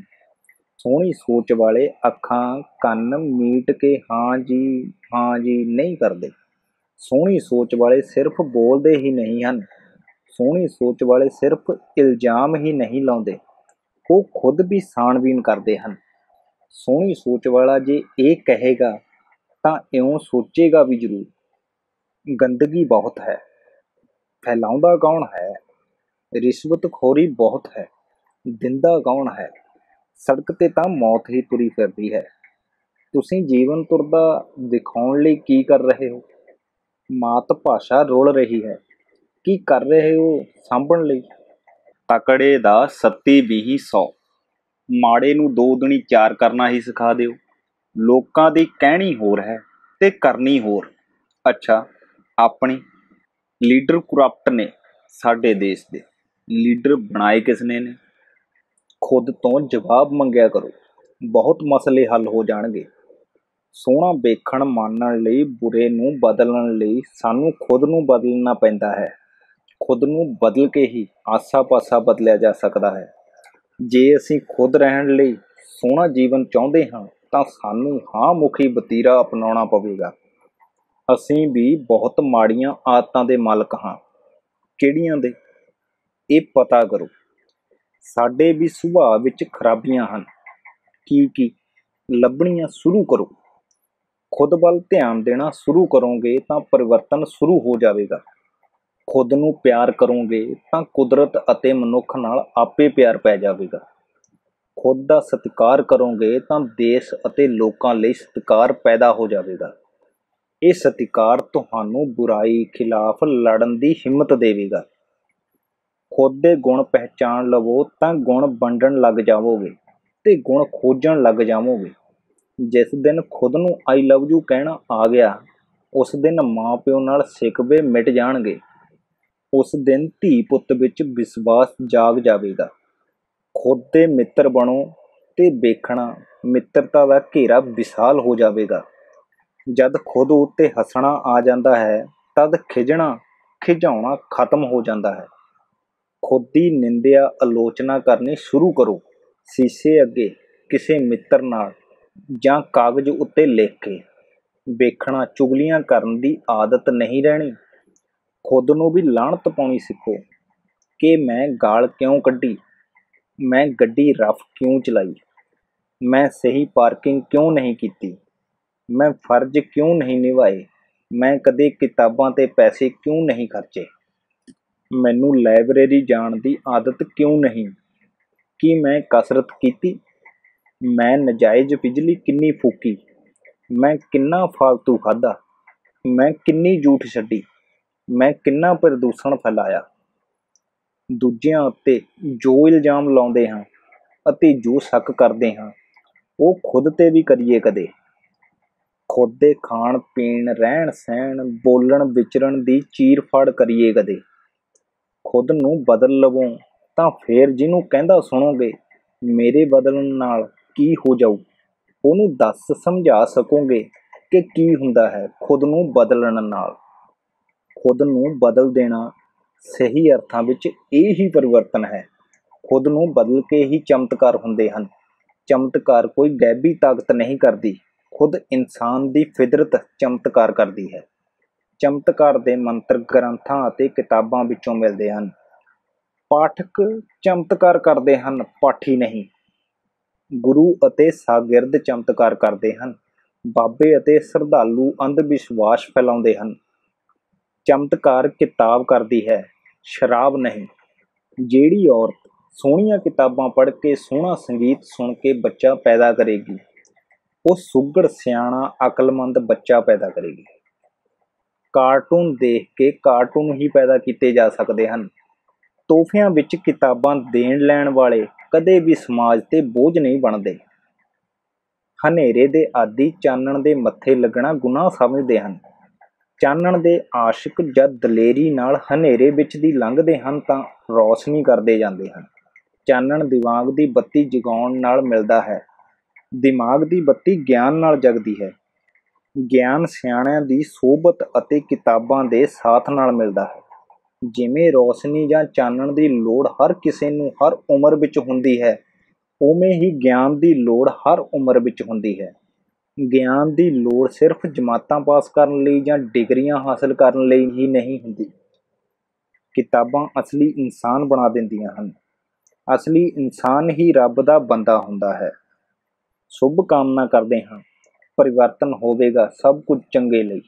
ਇਸ ਦੇ ਨਾਲ ਹੀ ਆਪਣੀ ਇੱਕ ਕਵਿਤਾ ਸਾਂਝੀ ਕਰਦਾ ਹੋਇਆ ਆਗਿਆ ਲੈਂਦਾ ਹਾਂ। ਖੁਸ਼ਬੂ, ਮੁਹੱਬਤ, ਵਫਾ ਵਕਤ ਸਿਰਫ ਲੈਣ ਦੇਣ ਦੇ ਹੀ ਰਾਹ ਨਾ ਪੈ। ਅੱਗੇ ਵੰਡਣੇ ਵੀ ਸਿੱਖੋ। ਮਜ਼ਾ ਲੁਤਫ, ਮਸਤੀ ਹਕੂਮਤ, ਕੱਲਾ ਹੀ ਨਾ ਕਰ। ਦੂਜਿਆਂ ਦੇ ਹਿੱਸੇ ਵੀ ਲਿਖ। ਖਾਣ, ਪੀਣ, ਪਹਿਨਣ, ਟਹਿਲਣ, ਉੱਤੇ ਹੀ ਪੈਸੇ ਨਾ ਖਰਚ। ਕਿਤਾਬਾਂ ਉੱਤੇ ਵੀ ਲਾ। ਪੂਜਾ, ਪਾਠ, ਵਰਤ, ਸ਼ਰਧਾ ਕਰੀ ਜਾ। ਪਰ ਧਰਤ, ਰੁੱਖ, ਪਾਣੀ, ਹਵਾ ਨਾਲ ਵੀ ਯਾਰੀ ਪਾ। ਜ਼ਿੰਦਗੀ ਜਿੰਦਾਬਾਦ। ਰਾਣਾ ਰਣਬੀਰ। ਧੰਨਵਾਦ ਦੋਸਤੋ। ਜੇ ਕਿਤਾਬ ਵਧੀਆ ਲੱਗੀ ਹੋਵੇ ਤਾਂ ਚੈਨਲ ਨੂੰ ਸਬਸਕ੍ਰਾਈਬ ਜਰੂਰ ਕਰੋ ਤੇ ਬੈਲ ਆਈਕਨ ਦਾ ਬਟਨ ਵੀ ਜਰੂਰ ਦਬਾਉਣਾ।